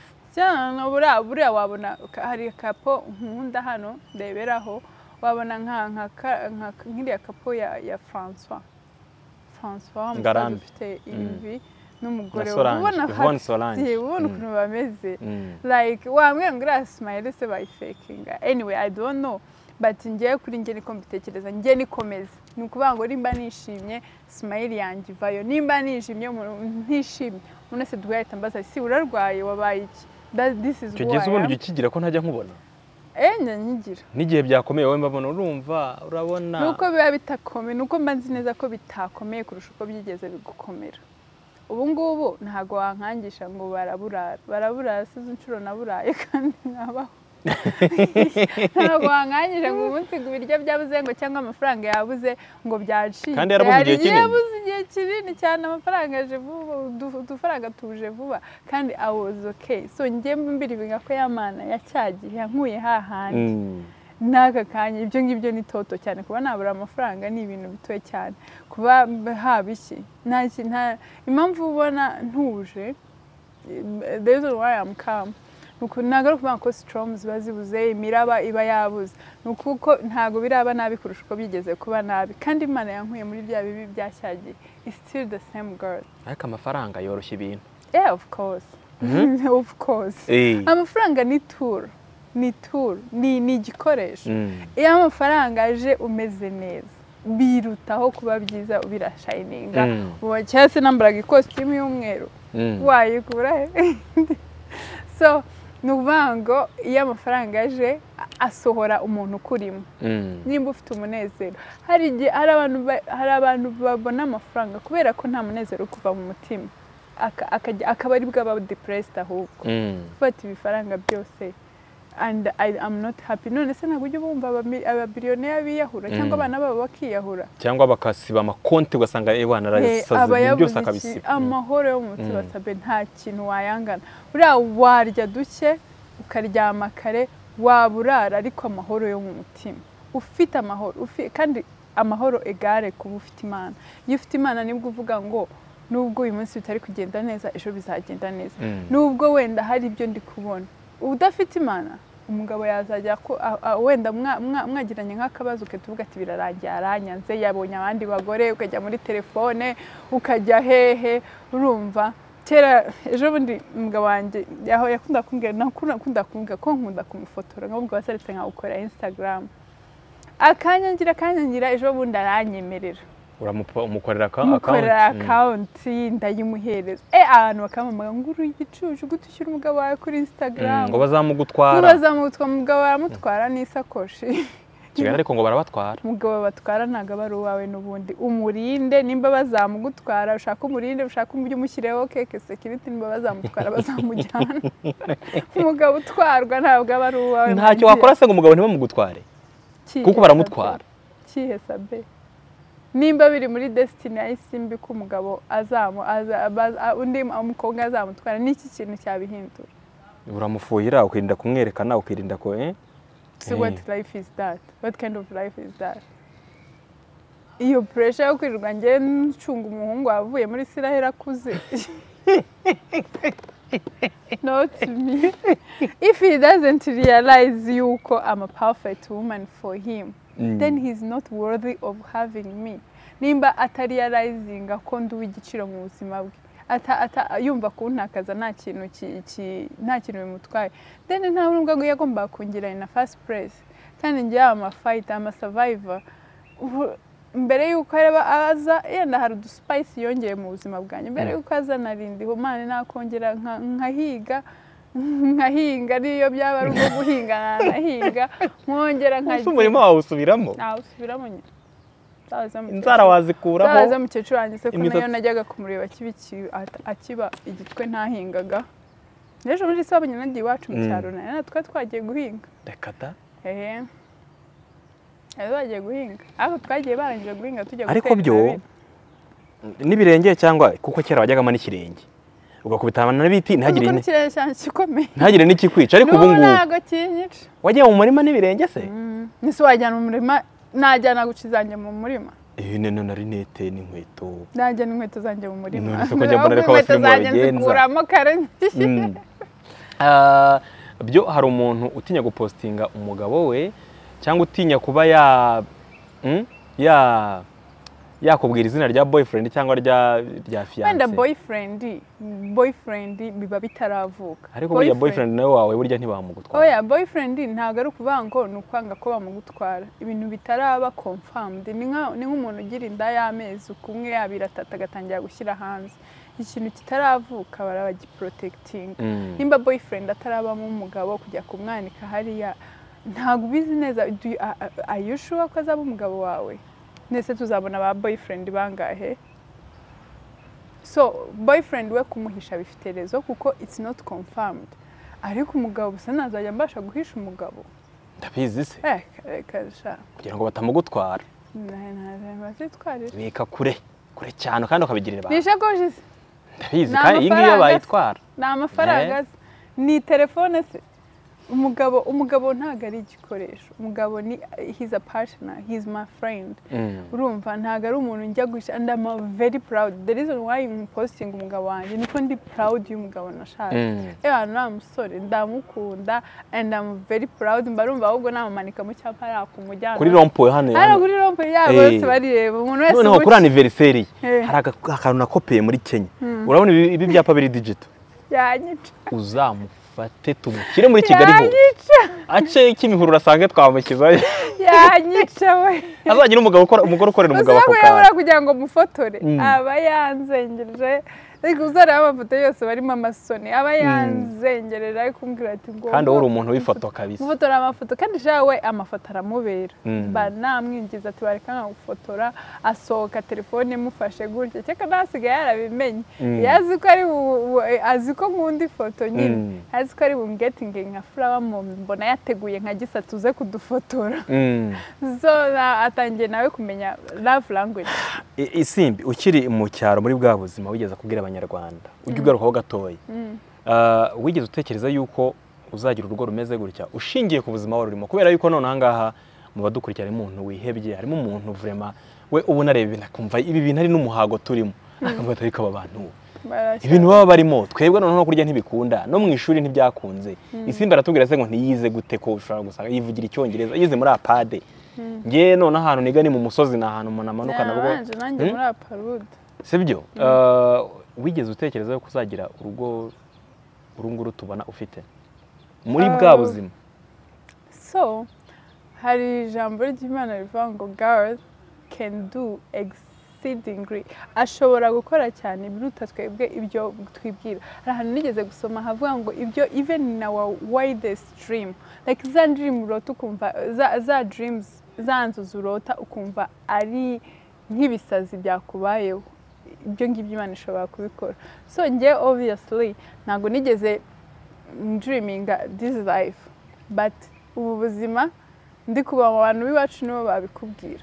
Nahoraga mbuvuga ntabwo nigeze mvuga ngo sipesifiye ngo nzashaka ngo umugabo ngo wo muri isirayeli darara ngo ufite uru ruhu ariko numvaga hazashya save wumvaga ugomba kuzaba umukire. Numvaga iwanjye hazaba haparitse amamodoka. Ngaho. numvaga nzaba muri etaje najyaga uri mu murima se? Mm. ngaho najyaga mbivuga bakanseka etaje yari akaciro Mm. gutya nta kaciro gutya umanuka uzamuka ujya nka nyarutarama kariya gakombe karimo Mm. kera kari kari SYS Mm. Eh, hariya hari gorufe hari etaje yari iri hariya najyaga nyicaho buri munsi nkahagarara nkayireba nkayaba fasinezezi nkabata ariko etaje umunsi umwe nzayubaka iyo nazaga mu cyaro hari umutanti wanjye umwe yabaga yabaga kacyiru undi abanyabisindu so twe yakundaga kwambukamo hariya ha- ha- hariya muri kariya gashanga Mm.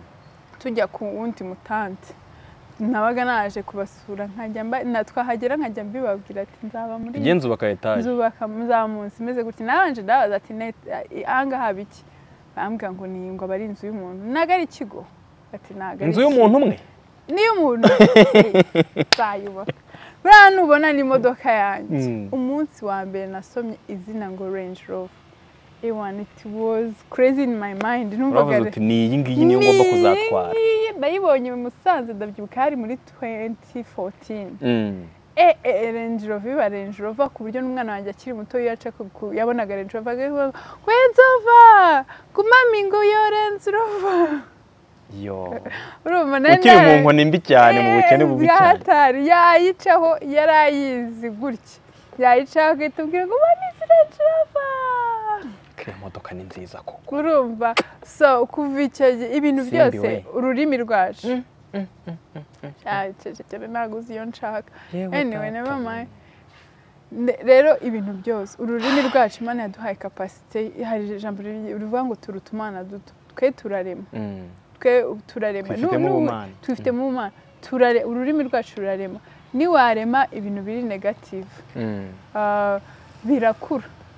Birakura ni- n'uwifokasingaho ukava byaranze byaranze umva biranga n'ejo bikanga n'ejo bikanga. Ariko iyo wiremyemo positivity njye nakuze undi umwana kuno ubona nishimye. Nahoraga buri gihe niyishimiye nahoraga ndi wa mwana usakuza. No mu- ishuri narasakuzaga Mm. kuri lisite y'abantu basakuza. Ntiwagombaga kumbura. Nkaba nzi ubwenge ariko mwe nasakuza. Niba umwarimu yashaka kwigisha neza. Yarabanzaga akanzana akanyicarika ku ntebe y'imbere nawe umwana uzi ubwenge ari gusakuza ashasana. Mm. abanza akanzana akanyicaza ku ntebe ya mbere ahandi ntayibubone ukuntu ahandi udashobora no kwe mwarimu aba akureba. Mm, imbere imbere Eh. nuko ndeshya. Nahoraga nicaye ku ntebe y'imbere. Aba barimu Ari- ushana arabangaga. Agahita akubwira ati wowe ati njye abarimu bose cara twara hano imbere. Abana barimu bose baranyikundira kuko Mm. this who you see uyu nguyu simbubona nta behind scene ngewe ngira. na- njye mvugisha ukuri abandi bantu batajya bavugisha Mm. rero umuntu wese namubwiraga nk'ibyo abandi bantu batekereza ariko batavuze agahita aseka tukajya duhora twitera sitori Mm. ba undi abarimu bajya kunywa icyayi muri recreation eh banahita mubwira se buriya twebwe uduhamagaye wabiki we bakakujyana rimwe na rimwe apana buri gihe Mm. so abarimu banaca abantu twiganye mu nyomozi abarimu b'abarimu ba- baba bari principal baranyikundira Mm. umwarimu umwe wigishaga shimi. Niyo bari baranyenze yansohoye umwaka wose muri shimi. Warakoze iki? Sinzi ngo nasakuje muri ushobora gusanga niba ari igihungu cyari cyanagukunze. Reka nari umwana ntabwo nari nkunditse pe. Niza niga muri turonkome icyo gihe hari igihe umwarimu yanga nk'umukobwa. Ubwo ugashaka impamvu yagusohoye mu ntabwo nari isomo ukayibura. wari ikize Mm? Imana igira neza. Ntabwo nari iki umukobwa. Waragenda ugatekereza ko uri buragaruka nari agahungu. Nari agahungu kazi Mm. nari wa mwana ku ishuri utwara amaretere y'abandi. Nta n'umuntu waneretaga. Mm. aho nanjye najyaga mbisinya basemana bazantereta. Bizagenda bite kuko kubera ikize simbizi nari nkiri muto nari ndi wa nyine ni ubuto ni ubuto nabonye agafoto kawe. Wari mwiza cyane nari ndi gato mbere. ndagakene ahubwo ubukene bwo mu cyaro umuntu ahita yisuza esitima agahita avuga ati nta wankunda." hari igihe maze nigeze gufata igihe ndasenga arabasumana kuko ngiye bazantereta ryari inkuru ugeze mu bwangahe Eh, ngeze muri adoresanse Eh. mbona aba- abakobwa bateretwa eh bafunga amaguni Eh. ku- nka base ngewe biti Eh. Eh, ndacecekera that story nta niyo nakubwiye aba twararajyaga gunda nkatwandikira amanote we. Ari agahungu. Hiya aho kakanyangara. Muri aho mwabahungu mwe? Ntago mbasuhuje yemwe bahungu. Areka mbasuhuje nkubwire rero. Ubu ngubu ahantu arimo aravuga ati sha. Ati sha. Ntago reka nkubwire cyakoze ubuzima. Ubuzima ni ikintu kidafite aparude barahita babamenya abo bana. Mm. eh nabatwazaga amakayi. Ubikundisha kugira ngo bagukunde. Ewe ngo tube ba boyfriend. Nanjye numvaga mbabaye boyfriend.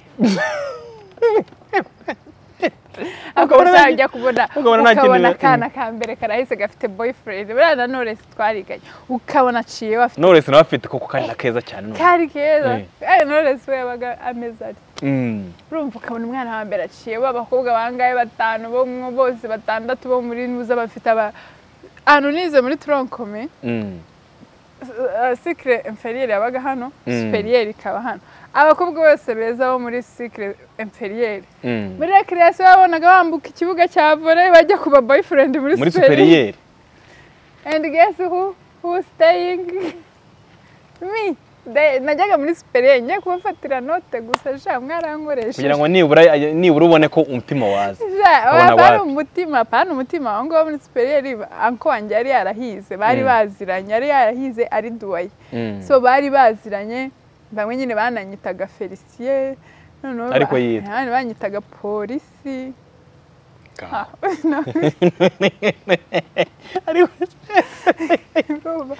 Polisi wumvaga ari buguterete reka da urabona ko akunda abantu bavuga ngo kariyeri ngo ngo ikintu ushaka kuzakora ngo nukura Mm. icyo uzaba umupolisi. Washaka kuza umupolisi wowe ibyo wabwiraga?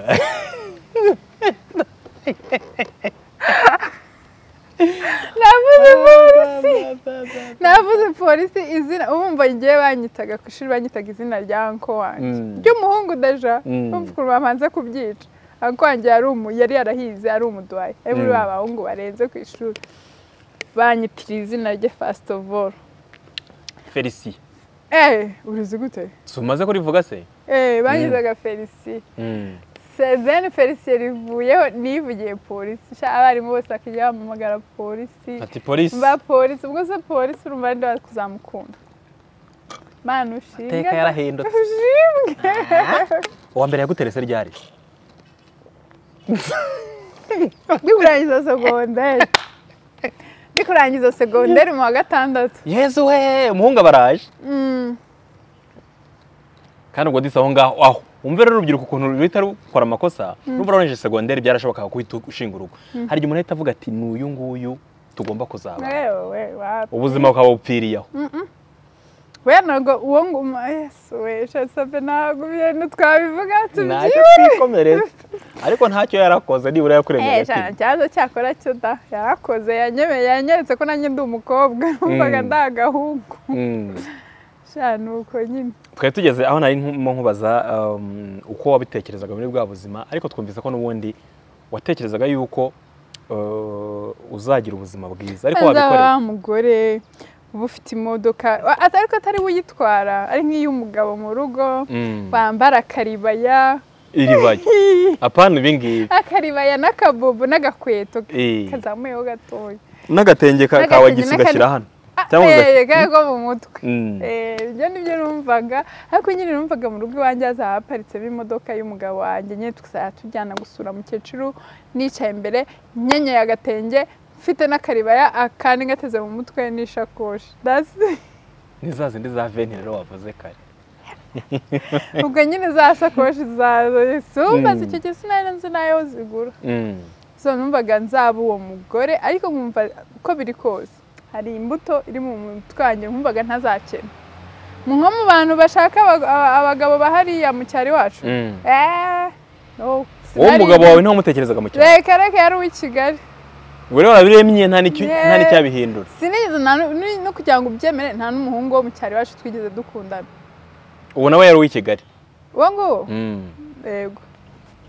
Eh, twamenyaniye i kigali. twamenyaniye Eh. i kigali ariko nyine that- nu- ni kwa kundi nk'umushuti wawe bafite nk'umu boyfriend noneho nawe bakakwentroducinga batuye nawe rero? Eh, Eh. yeah, ariko it was nothing serious. Mm. ariko nyine kuva nabaho like no mu cyaro iwacu ntabwo ari abahungu twize duhakundana nta mu- umu ex w'iwacu igitwe azanye mose nta mu ex mwajyanye mu murima? Oya reka reka reka umukecuru ari kunyica amaguru umukecuru kumuzana abantu bafite aba ex mu cyaro wasangaga ari uwo mwasohokana ngo kwicara mu murima Ega nta ma ex mu cyaro hari umwe twari duturanye wigeze kubigerageza ariko wapi biranga ntabwo byavagamo bivamo atari introduce reka reka reka reka utangiye kuntwikira umutaka ngo imvura iri kugwa Ngo? abantu b'icyaro badamwara nabwo imvura yabaga gutwikira mwitiriye umutaka ubwo iyo ni keya nyine nizo kandi nizo za nyuma nyuma nagutwikiriye umutaka mwagiye mu muta- mu mutaka umwe nawe mu cyaro wapi nta ma akagenda agufasha gutya ku rutugu afashe n'umutaka oya ntabyo ku rutugu ku rutugu se umukecuru ari kunyika ariko urutugu byaba byabaye uburaya noneho eh, mu cyaro bakuye ufatanya n'umuhungu ku rutugu ngo wavuga iki bahita bavuga mbega ikirara araturumbi Ntacecekere byore nta ma ex ngira mu cyaro. Nubwo nigeze nibona. Mm. mfite umu ex ndi kuba mu cyaro. Like ndi kuba ari bwo buzima ari bwo buzima. Numvaga buri gihe nzajya mva i Kigali nje mu cyaro. Nese confidence zavaga he? Isimbi. Ko wari warakubititse simbizi urabona ko akunda umwana aba yicaye mu rugo ari kwiganiriza. Njye nahoraga niganiriza. Niganiriza mfite inzozi nyinshi mu mutwe wanjye. Niganiriza harahiye. Nkajya nkina nk'agafilime mu mutima nkaza Mm. ndi gusuhuza mukecuru Byarakunze. ibitenge. Byarakunze. That's was me. I think Mm. ko ni imbuto imana yari yaranshyizemo yo kubona beyond Mm. aho narindi akenshi iyo umuntu abonye ubushobozi simvuze ko wabonye amafaranga ko buri muntu ahora ayashakisha. Na ba bezos bahora bayashaka. Buranampaho um, nyagasana byumve kandi eh, akira izina rya yesu. Ah, akenshi umuntu abonye ubushobozi butoya butuma abaho ubuzima ashaka cyangwa bwiza. Mm. abenshi bahita bava ku mana abenshi ntabwo bongera gusenga. Iyo umuntu agize umugisha akagira urugo rwiza nka ruriya rwawe ufite rurimo ibyo kurya rurimo ubuzima rurimo buri kimwe gishobora gituma umuntu abaho yishimye. Abenshi gusenga babica amazi. Abenshi bajyayo rimwe cyangwa se ku minsi mikuru nabwo bakabicaza imbere kubera ko ari abantu bafite utumodoka cyangwa bafite udufaranga. No mu byaro niko biba bimeze. Abenshi babicikaho. Niki cyatumye isimbi ubuzima bumaze guhinduka adahinduka ku mana agako- agakomeza gusenga? So kuva kera njyewe nkiri umwana nakuriye mu muryango wa kirisi umukecuru wanjye muzi abyuka tukajya ujya gusenga ubishaka utabishaka ku cyumweru yari Mm. umukatolike. Maze ma- ndi muri segonderi naje kwigira encounter nshaka gukizwa ku giti cyanjye. Maze kuba umwadore ndi mu wa mbere gutyo. Mm. maze kuba umwadoresa course nk'abandi badoresa bose ushaka gukora ibyo abandi badoresa bakora ariko njye imana ntiyigeze imvamo. So maze kubyara ni bwo natangiye noneho kuba umuntu mukuru. Nagize awakening. Natangira uyu mwana mbyaye tangira ndeba history how, how does history repeat itself? Ndavuga rero umunsi umwe muri 2014 ndabyibuka. Nibwo nafashe decision yo gukizwa. Ewana ndakizwa of course nkisohoka of course nkinywa inzoga ariko nkijijwe nangasenga. Nyuma rero nza kubona ah, hari igihe ubuzima bwari bumeze nabi bumeze nabi cyane. No muri 2017 17 16 gutyo. Nza kubwira imana ndayipromisinga mana niwantabara. Nanjye nzagukorera iminsi yose y'ubuzima bwanjye. Warabiyibwiye? Yego. Mm. so this is a promise I made to God. Hari indi muntu yankunda kuririmba ngo uri imana ikomeye ngo naba ndwaye ndi muzima ngo naba amashyo yashira mu biraro ngo nta kiza- nta kizaguhindura. So amafaranga yose na- nabona sabe uyu munsi. Ubuzima bwiza wagira. Ubuzima bwiza nagira ibihugu najyamo ntabwo nakibuka imana yabingejejeho kuko hari ntabwo wakwibagirwa imana. Eh, ntabwo nakwibagirwa imana yabingejeje kuko hari igihe ngewe nageze nkabona ubuzima bwanjye bwararangiye hasigaye nko gupfa. So imana yanzahuye ikankura hariya hantu. Ni gute uyu munsi nayibagirwa? Ijambo ry'imana rivuga ngo nimumara kurya mugahaga. Muzirinde kwibagirwa. Imana yabizi ko turi abantu turibagirwa Mm. vuba. Ariko njye nta kintu ndabizi neza ntashidikanya ko nta mbaraga n'izi na zimwe. Zankuye mu- muri buriya buzima atari imana. Mm. so narayibisezeraniye. Every day mpora ndi newinga promise yanjye ku mana. Buri gihe uko imana ingiriye neza ahubwo numva ngize ubwoba. Mvuga ati mana mpe kongera guca bugufi noneho kurushaho kugira ngo mbashe nkomeze nguheshe icyubahiro. Mm. sinzagukoza isoni. Ntuzabone ko wakoreye ubusa. That time ndi gusenga najyaga mbwira imana mana ndakwize mpa ayandi mahirwe. Aya mbere ndabona byaranze mpa ayandi mahirwe. So imana kandi urumva Mm, Mm. imana yampaye ayo mahirwe aka kanya ntago nta nta- nta press n'imwe nta kintu na kimwe. I like nkunda ubuzima bwiza pe. Nkunda video rix ariko nta rix n'imwe ishobora kun- kunsimburira imana. Kuko imana ivuze ikintu ki- ijambo rimwe gusa. Umwuka urahera. Imana igukuyeho ukuboko kwayo. Amafaranga yose nagira ntafitemo presence y'imana. Njye niyo ntari gusenga neza nk'iyo maze nk'iminsi ndi busy ntari gusenga neza. Barumva meze nk'umuntu wa- washwanye na boyfriend wumva numva mu mutima wanjye ntameze neza ko z- m- nkunda kumva presence y'imana mu buzima bwanjye. Iyo presence y'imana ntari kuyifiringa so close nta nubwo mba ndi sure yuko hari ikintu nakora Mm. kiri right. Ari akazi sinagakora ari umugabo sinanamenya n'ukuntu bamwitaho ari umwana wanjye sinamenya ukuntu bamurera cause I'm who I am because of God Do- so sinzi bonus umuntu aba afite cyangwa se ikindi kintu aba yishingikirijeho cyatuma uva ku mana ngo ni uko wabonye ngo udufaranga. Amafaranga ubu hari Gates uri urava hano mu Rwanda? Ntawe hari Elon Musk. Hari abandi bakire bose tuzi ku isi. So udufaranga dukeya n'akamodoka ka hybrid byabukura ku miliyoni. mana kandi bariya ba Jeff Bezos tubona na bariya bakire bandi nabo biriya mu isegonda wabigura. Wabibura. Noneho nta nubwo uranagera kuri revo yabo basi ngo tuvuge ngo basi wanditse izina ku isi. Uri aho ngaho uracyasitse uragoringa ku igare ryawe cyangwa kuri moto. uracyanakodesha nimba wimutse muri karitsiye imwe ugiye ku yindi shawapi uracyarwana n'ubuzima ariko ntushaka gusenga. n'ubuzima ntushaka gusenga.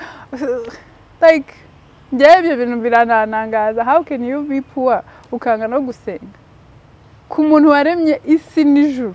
Ufite buri kimwe ukeneye ufite buri kimwe ukeneye noneho uri umukene ntushaka no kwemera ko imana ibaho. Sawa ngaho ukomereze mu bukene bwawe. Sawa cyane. Ibanga riri mu gusenga mwabyumvise niri ngiri isimbi modo adusangije uh, ubukene wagira uko bungana bwose ubukene wagira uko bungana bwose. Imana yawe nuyishyira ku ruhande birakureba. Birakureba pe isimbi reka tugane ku musozo. Abantu babonye ko ufite um, cano gira icyo ubabwira. Idagadure nakubajije nkayivuga sibyo? Ubu banagiyeho barasangaho akavidewo Kati, ntarinzi ko batambika kamera. Ah, none ufite kamera oya ntabyo mvuze. Mwebwe mujye kureba iyo videwo bantu banjye mujye kureba videwo ya isimbi. Ibisigaye muraza kumbwira uko bimeze. Abantu bavuye ku isimbi n'ubundi bahita babona muri comment murakoze Hmm? section uraza kuyisanga abantu bo ku isimbi gusa. Iyo videwo yayifashe nyine ni videwo ya mbere. Eh, niko ni bigenda video videwo ya mbere babamo udukosa ariko um, ufite kamera? Ndi gushaka kuyigura. Right now ndi gukoresha telefone yanjye. iphone ubundi iyi ngiyi ikora no Mm, I iyi ngiyi ikora iphone 15 Mm. pro max niyo ndi gukoresha right now. Mm, iyi ngiyi ikora kurusha na kamera nyinshi ahubwo Mm. igisabwa ni ukubona umwanya zandangire nk'iriya yawe iriya nabonye ngira umuzungu. Iyi ngiyi se shahu iyi ntago wayemera. Bazayimayemo kado mpa nk'ibihumbi bitatu by'amayero nkwereka ukuntu nkora utuntu twanjye. Ni make aba ari make. Nyine wazayinyihe wazampaye gift ariko nawe ugatanga ndi- gift ngiye Ntago zitanga ariko nyine kuri levo yanjye. Ubuse wowe nka gift naguha ukishima. Hmm. Ni inka kandi nka eh? Gift zose ngewe ziranshimisha ni ukuri kw'imana niba isakoshi y'ibihumbi makumyabiri na bitanu koko. nuko ariko rero idafite marike idafite marike tazanzanira Louis Vuitton ya Gucci. Oya hari hari nk'iyi ngiyi rwose njye nayiguhe nayiguha venisenke idafite marike oya njye naba nshaka kuguha ifite marike oya ntabwo ya marike oya uzampe sa girife iya venisenke idafite girife ni ubwo se uzayitwara he mwuka byara. Nta kibazo. Se habaho amaburande matoya se. Mwabyumvise ko isimbi ari tayari kwakira kado. Njye kado zose ndazakira. Hey. Who am I? to refuse a gift? Nuko um, uyu ni wo mwanya. Hmm. tuguhaye. Murakoze cyane. Sabe first of all reka mbaze ngushimire ko wampaye iyo opportunity yo kuza gukorana ikiganiro nawe wa- wavuze kuri channel yanjye. Wowe ngiye kubustinga ntabwo ari ibintu ibi ntabwo ari ibintu. nyagasani gafite abasubscribers benshi.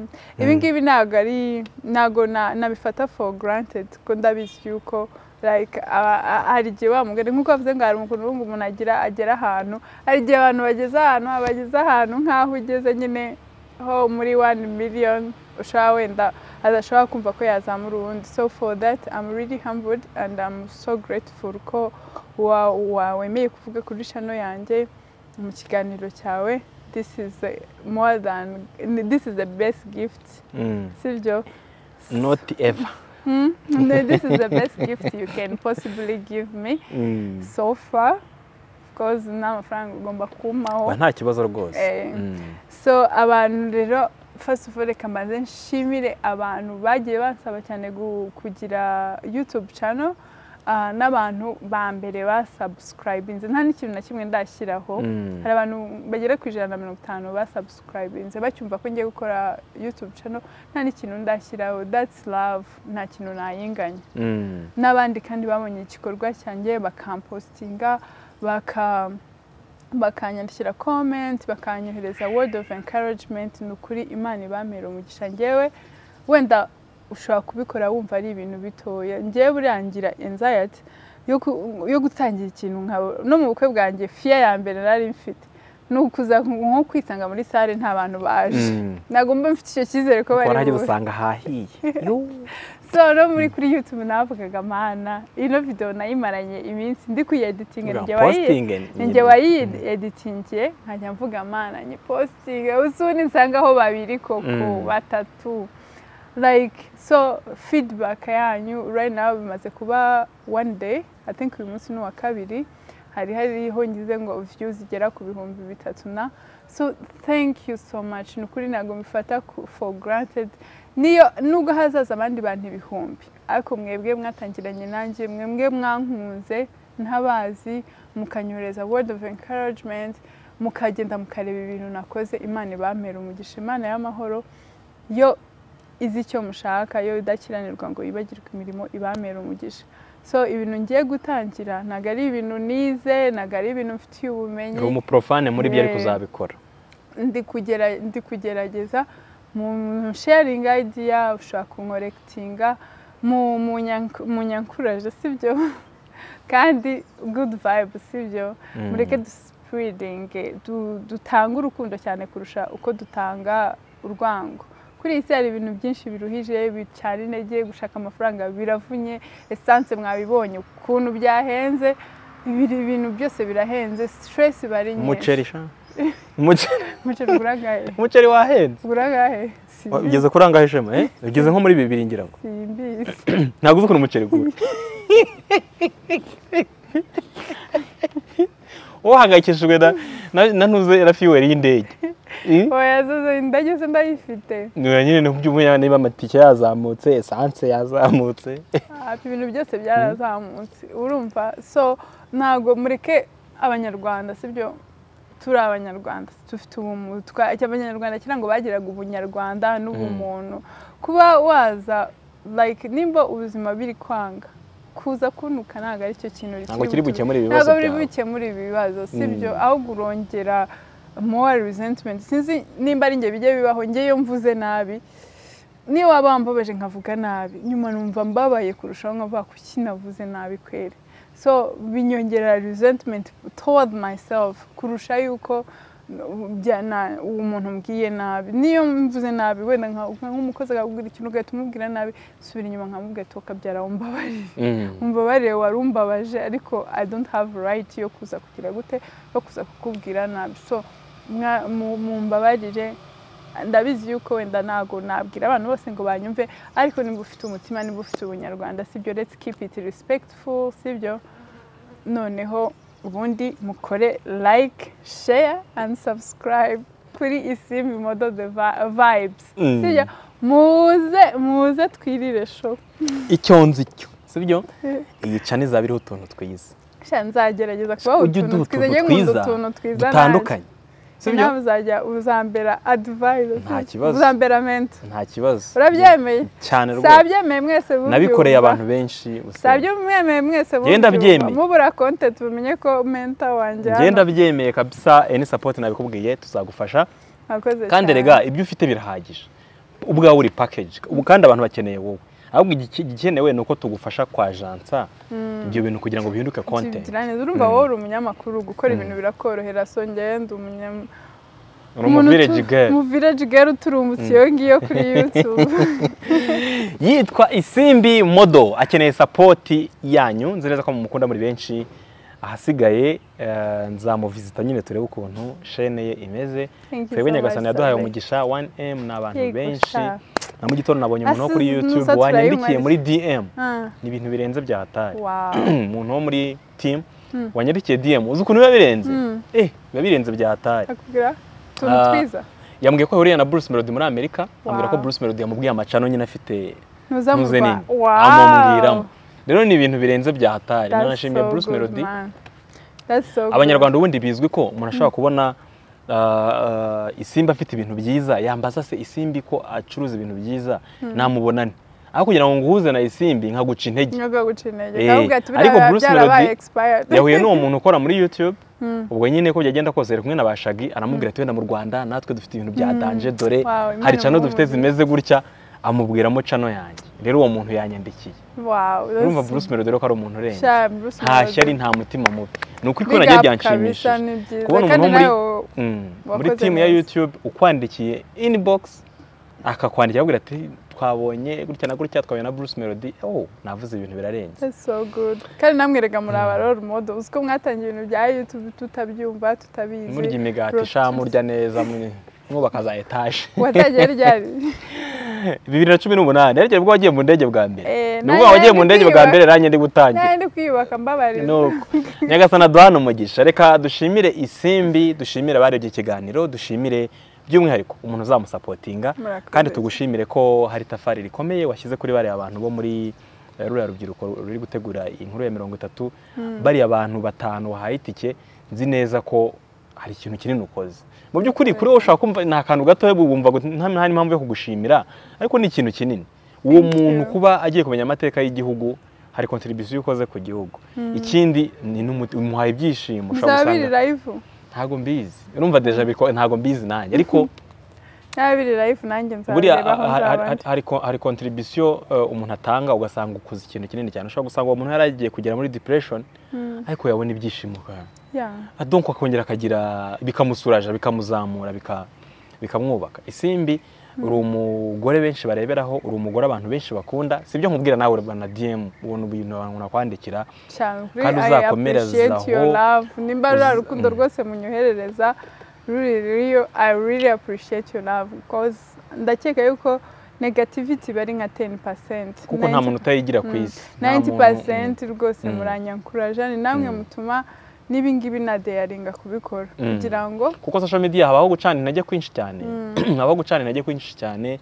Ngenda bizi bimbaho. Ariko kubera ko nzi intego mfite ewana ngahagarara nemye nkavuga nta kazi gagomba gukorwa. Aya mavuta nanjye mbe uko byagenda kose. Wowe wowe wowe se. Wizi wa mugani wawe wambwiye ati "Ata, reka twikomereze. Nuko um, uzakomereza aho ngaho rero. Abo ababasha kukugeraho kuko abantu bansaba nimero ya isimbi bo ntabwo nayiguha kuko ntabwo ndi buviolating privacy ye yanyemereye ko ntanga nimero ntabwo ari uko nabyanze ahubwo ntabwo yemera ko contact ye nyisharinga uretse kuba wajya kuri YouTube ukajya uvugana nawe cyangwa kuri Instagram ukamuvugana nawe mu buryo buri open naho njye ntabwo natanga nimero umuntu atabyemeye Ah. isimbi hari icyo ushaka kongeraho se? Nshaka kwisegura ku bantu benshi. Abasaba nimero ni benshi. abantu benshi bansaba nimero cyangwa bansaba ubufasha. Ama one person sibyo? Ndi umuntu umwe ntabwo nashobora kuricinga out kuri buri muntu wese uba wanyandikiye ansaba ubufasha. Hari nanjye nanjye ndacyiyubaka nanjye ndacyakora nda- nda- ndacyashaka nanjye ukuntu nakiteza imbere kugira ngo mbashe guteza imbere abandi Mm. mfite deja abantu benshi ndeberera ah, atari ngombwa ko nza kubyirata Mm. hano ariko ni ukuri nubona ntagusubije ntugire ngo ni ubwirasi nuko nanjye nta gisubizo mfite right Mm. now ndacyasenga ndacyas- ndacyasaba imana kugira ngo ubwo icyo cyizere mumbonamo cy'uko nashobora kuba hari ikintu nabafasha imana imfashe inkorere ikintu mwese mushobora kwisangamo ariko rero nawe ntabwo birakunda. So mumbabarire ntihagire umuntu ugira ngo namwirengagije cyangwa naze kumutabara. Ushobora kunsaba wenda amafaranga wenda nanjye ako kanya ntayafite. Mm. ntabwo wenda kandi abenshi baba bashaka amafaranga. Kuko hari umuntu hari ibintu byaciyemo hari ibintu bimwe byakemutse ntabwo bivuga ko twageze aho Mm. aho aho aho bajya bavuga gute? Aho uruhombero twarenze uruhombero. Twarenze uruho ariko wowe wararurenze ntabwo twarenze uruhombero. Mm. There is not there is of course hari ibintu bimwe nshobora nanakora abantu anyandikira ugasanga yansabye telefone yansabye nda computer yansabye nda bazi ibyo ndabishoboye. Mm. hari n'undi ukwandikira akakubwira ati ndashaka miliyoni mirongo itatu. Ndashaka miliyoni icumi ndashaka miliyoni mpa akazi kandi Eh, kampani rero ugasanga hari nta izo harimo n'ukubwira ati mpa akazi none se na how many people can I hire? Ni abantu bangahe naha akazi ndi umuntu umwe mu nsengere mfite ibitekerezo byo kuzakora ibintu byagutse twese dushobora kwisangamo. Ariko rero nawe ntabwo biragera so bear with me. Mu nsengere nanjye imana icisha umugisha muri ngewe kandi ni ukuri imana ya promise yuko ibi bike mfite. Mbasha kubisangira n'abantu bose bangeraho kandi amahoro. Niba wara- twarabashije kubisangira uzaze ubwire abandi. uzakomereza aho ngaho isimbi ah, babone ko atari injuga tuba turi oya nta oya si no no byo? reka nkubwire. Ntabwo uh, kuri iyi si memo n'imana yohereje umwana wayo ku isi ngo adu- adu- aducungure. Kandi ntitwamwemeye twese. Mm. kugeza uyu munsi. Hashize imyaka ibihumbi bibiri. Kugeza uyu munsi. Hagiye hashize bibiri byose. Bibiri na makumyabiri n'ine. Eee sibyo kuko twatangiye kubara ari uko Si byo? nafashe ni ukuvuga ngo kuva kuva yezu ageze ku isi cyangwa yesu ageze ku isi hashize imyaka ibihumbi bibiri na makumyabiri n'ine. Ntitwamwemeye twese. None se ubwo isimbi modo zafasha bamwe kugira ngo bemere bose. bose. Kandi sinanabishobora kubafasha bose. Umva nimba ndisivinga dm nkeya ku munsi zishobora kuba zigera mu ijana. Kandi most of them ni abakubwira bati urabona. mirongo icyenda ku ijana. Mm. ni abashaka ubufasha. Hari igihe nshobora kuguha wani emu wenda ikibazo cyawe cyari gifite gisaba teni emu icyo gihe ukabona ugasanga ni agatonya ugasanga ni agatonyanga so Mm. i try gu- gusenga n'imana na yo inyobore on the right person. Ku buryo ikintu nagufasha niyo cyaba ari teni ke zize ari za teni ke wari ukeneye. Mm. apana kuguhereza ah, ijana wari ukeneye miliyoni nta Mm. kintu uri buri mfite ibikorwa byinshi muzagenda mubibona bizagenda bituma abantu benshi ya, bafashwa. bijya no Mm. muri charity muri ibyo bintu byo gufasha cyane cyane siritu cyane cyane ku mwana w'umukobwa kuko I know the struggle yo kuba umwana w'umukobwa siritu w'umukene cyangwa se no kuba umusingo mama w'umukene nabaye Mm. umwana w'umukobwa w'umukene mba n'umusingo mama w'umukene so I know the struggle so kuba wari umukene uyu munsi bikaba bimeze bitya ntabwo mm, ntabwo bimeze gutya? Cyane uko mbyifuza. Ariko urashaka ngo bibe cyane gute? Ariko ni ukuri ko imana aho ndi ndashima imana. Nibyo nta kitaba nanjye ni byo ngibyo nari kuba mvuze nkiriho rega. ndi ku isimbi tv sha. Ni ibintu birenze cyane. kuzahurira. Eh, birashoboka. Twaba kuzapfa guhurira. oya birashoboka. Buriya ni ukuvuga inzira Ega ntabwo z'imana. ari igitwe ku muhanda Mm. ni imbere gutya mu Ntabwo ari kuri koleje? wapi? Urakomeza? Nyakabungo mo inyuma. My. aho niyo uri kuri koleje bya byaro uba ureba gutya ku mpande nta matara abayo nigeze kujyayo. Ni ay'aba y'iwacu aha. Nyagasani akomeza abigenze neza kuri isimbi abafasha bakomeze baguke kandi natwe turagukunda. Urabizi neza ntabwo ari injuga Nyagasani abibemo. Mwakoze abarebye ikiganiro. Nawe wakoze. Imana iragukunda. Nawe utaha. Utambaje isomo ngaho tubwire isomo ariko uko byagenda uriya nyagasani ushobora gusanga yashatse kugira ko yashatse kwifuza yashatse ko ugira isomo dusangiza. Ubushize nari narikubajije umuntu ujya ubaza utabaza isomo. Ubushize nari narikubajije nanze iyo kongera uribaje ntabwo wongera kuribaza. Oya, birashoboka. Nkabamenye ndimubaza buri munsi buri munsi buri munsi ko duhuye. Hari abantu ndibaza buri jori iyo duhuye jori buri munsi jori ngaho tubwire isomo. Reka isimbire wagira isomo dusangiza ry'ubuzima. Isomo ubuzima ubuzima buri munsi wamugana umuntu agiye kureba amasomo ubuzima buba bwaramwigishije. Buri munsi wasanga ufite isomo ubuzima bwakwigishije. Last time nababwiye ko icya mbere ari ukwigira kwigira uti- sinibuka ukuntu nabivuze neza ariko imana itagutabaye nta muntu n'umwe wagutabara kandi nawe ugomba kugira gute Kwi- kwigira cause no one is coming to save you ubu ngubu nakubwiye irindi somo ry'ubuzima ubuzima bwagiye bunyigisha bwanyigishije yuko mu buzima habaho ibibi hakabaho n'ibyiza. Ntu- ntufokasinge ku bibi cyane. Fokasinga kuri gake niyo kaba ari aka- agatonya. Urabona urabona iyo umuntu ari mu- mwijima. Niyo kaba ari umwambi bacanye gutyo. Urabona umwambi ukuntu ari mutoya. Karaka ukabonamo umucyo. So ka kantu gatoya kaganje wa mucyo wose. So n'ubuzima niko bumeze. Kaganje wa mwijima. Kaganje wa mwijima wose. So no mu buzima niko bimeze. Wifokasinga kuri bya wa mwijima. Fokasinga kuri ka, ku- kuri ka ka light gato. Gashobora kuba ari akantu gato gashobora kuba ari akantu gato ari uko wenda uvuga ati sifite ibyo kurya bya nijoro ariko nibura hari akagati. Ngo Yesu yigeze kugaburira abantu ibihumbi bitanu. Utatemo abagore n'abana. ngo abagarire imigati ibiri n'amafi. Mm. sibyo so fokasinga kuri akantu gatoya namenye neza ntashidikanya ko nta hantu kure imana itakura umuntu nta n'ahantu itamugeza.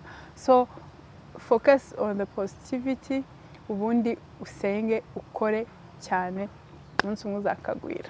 Thank you.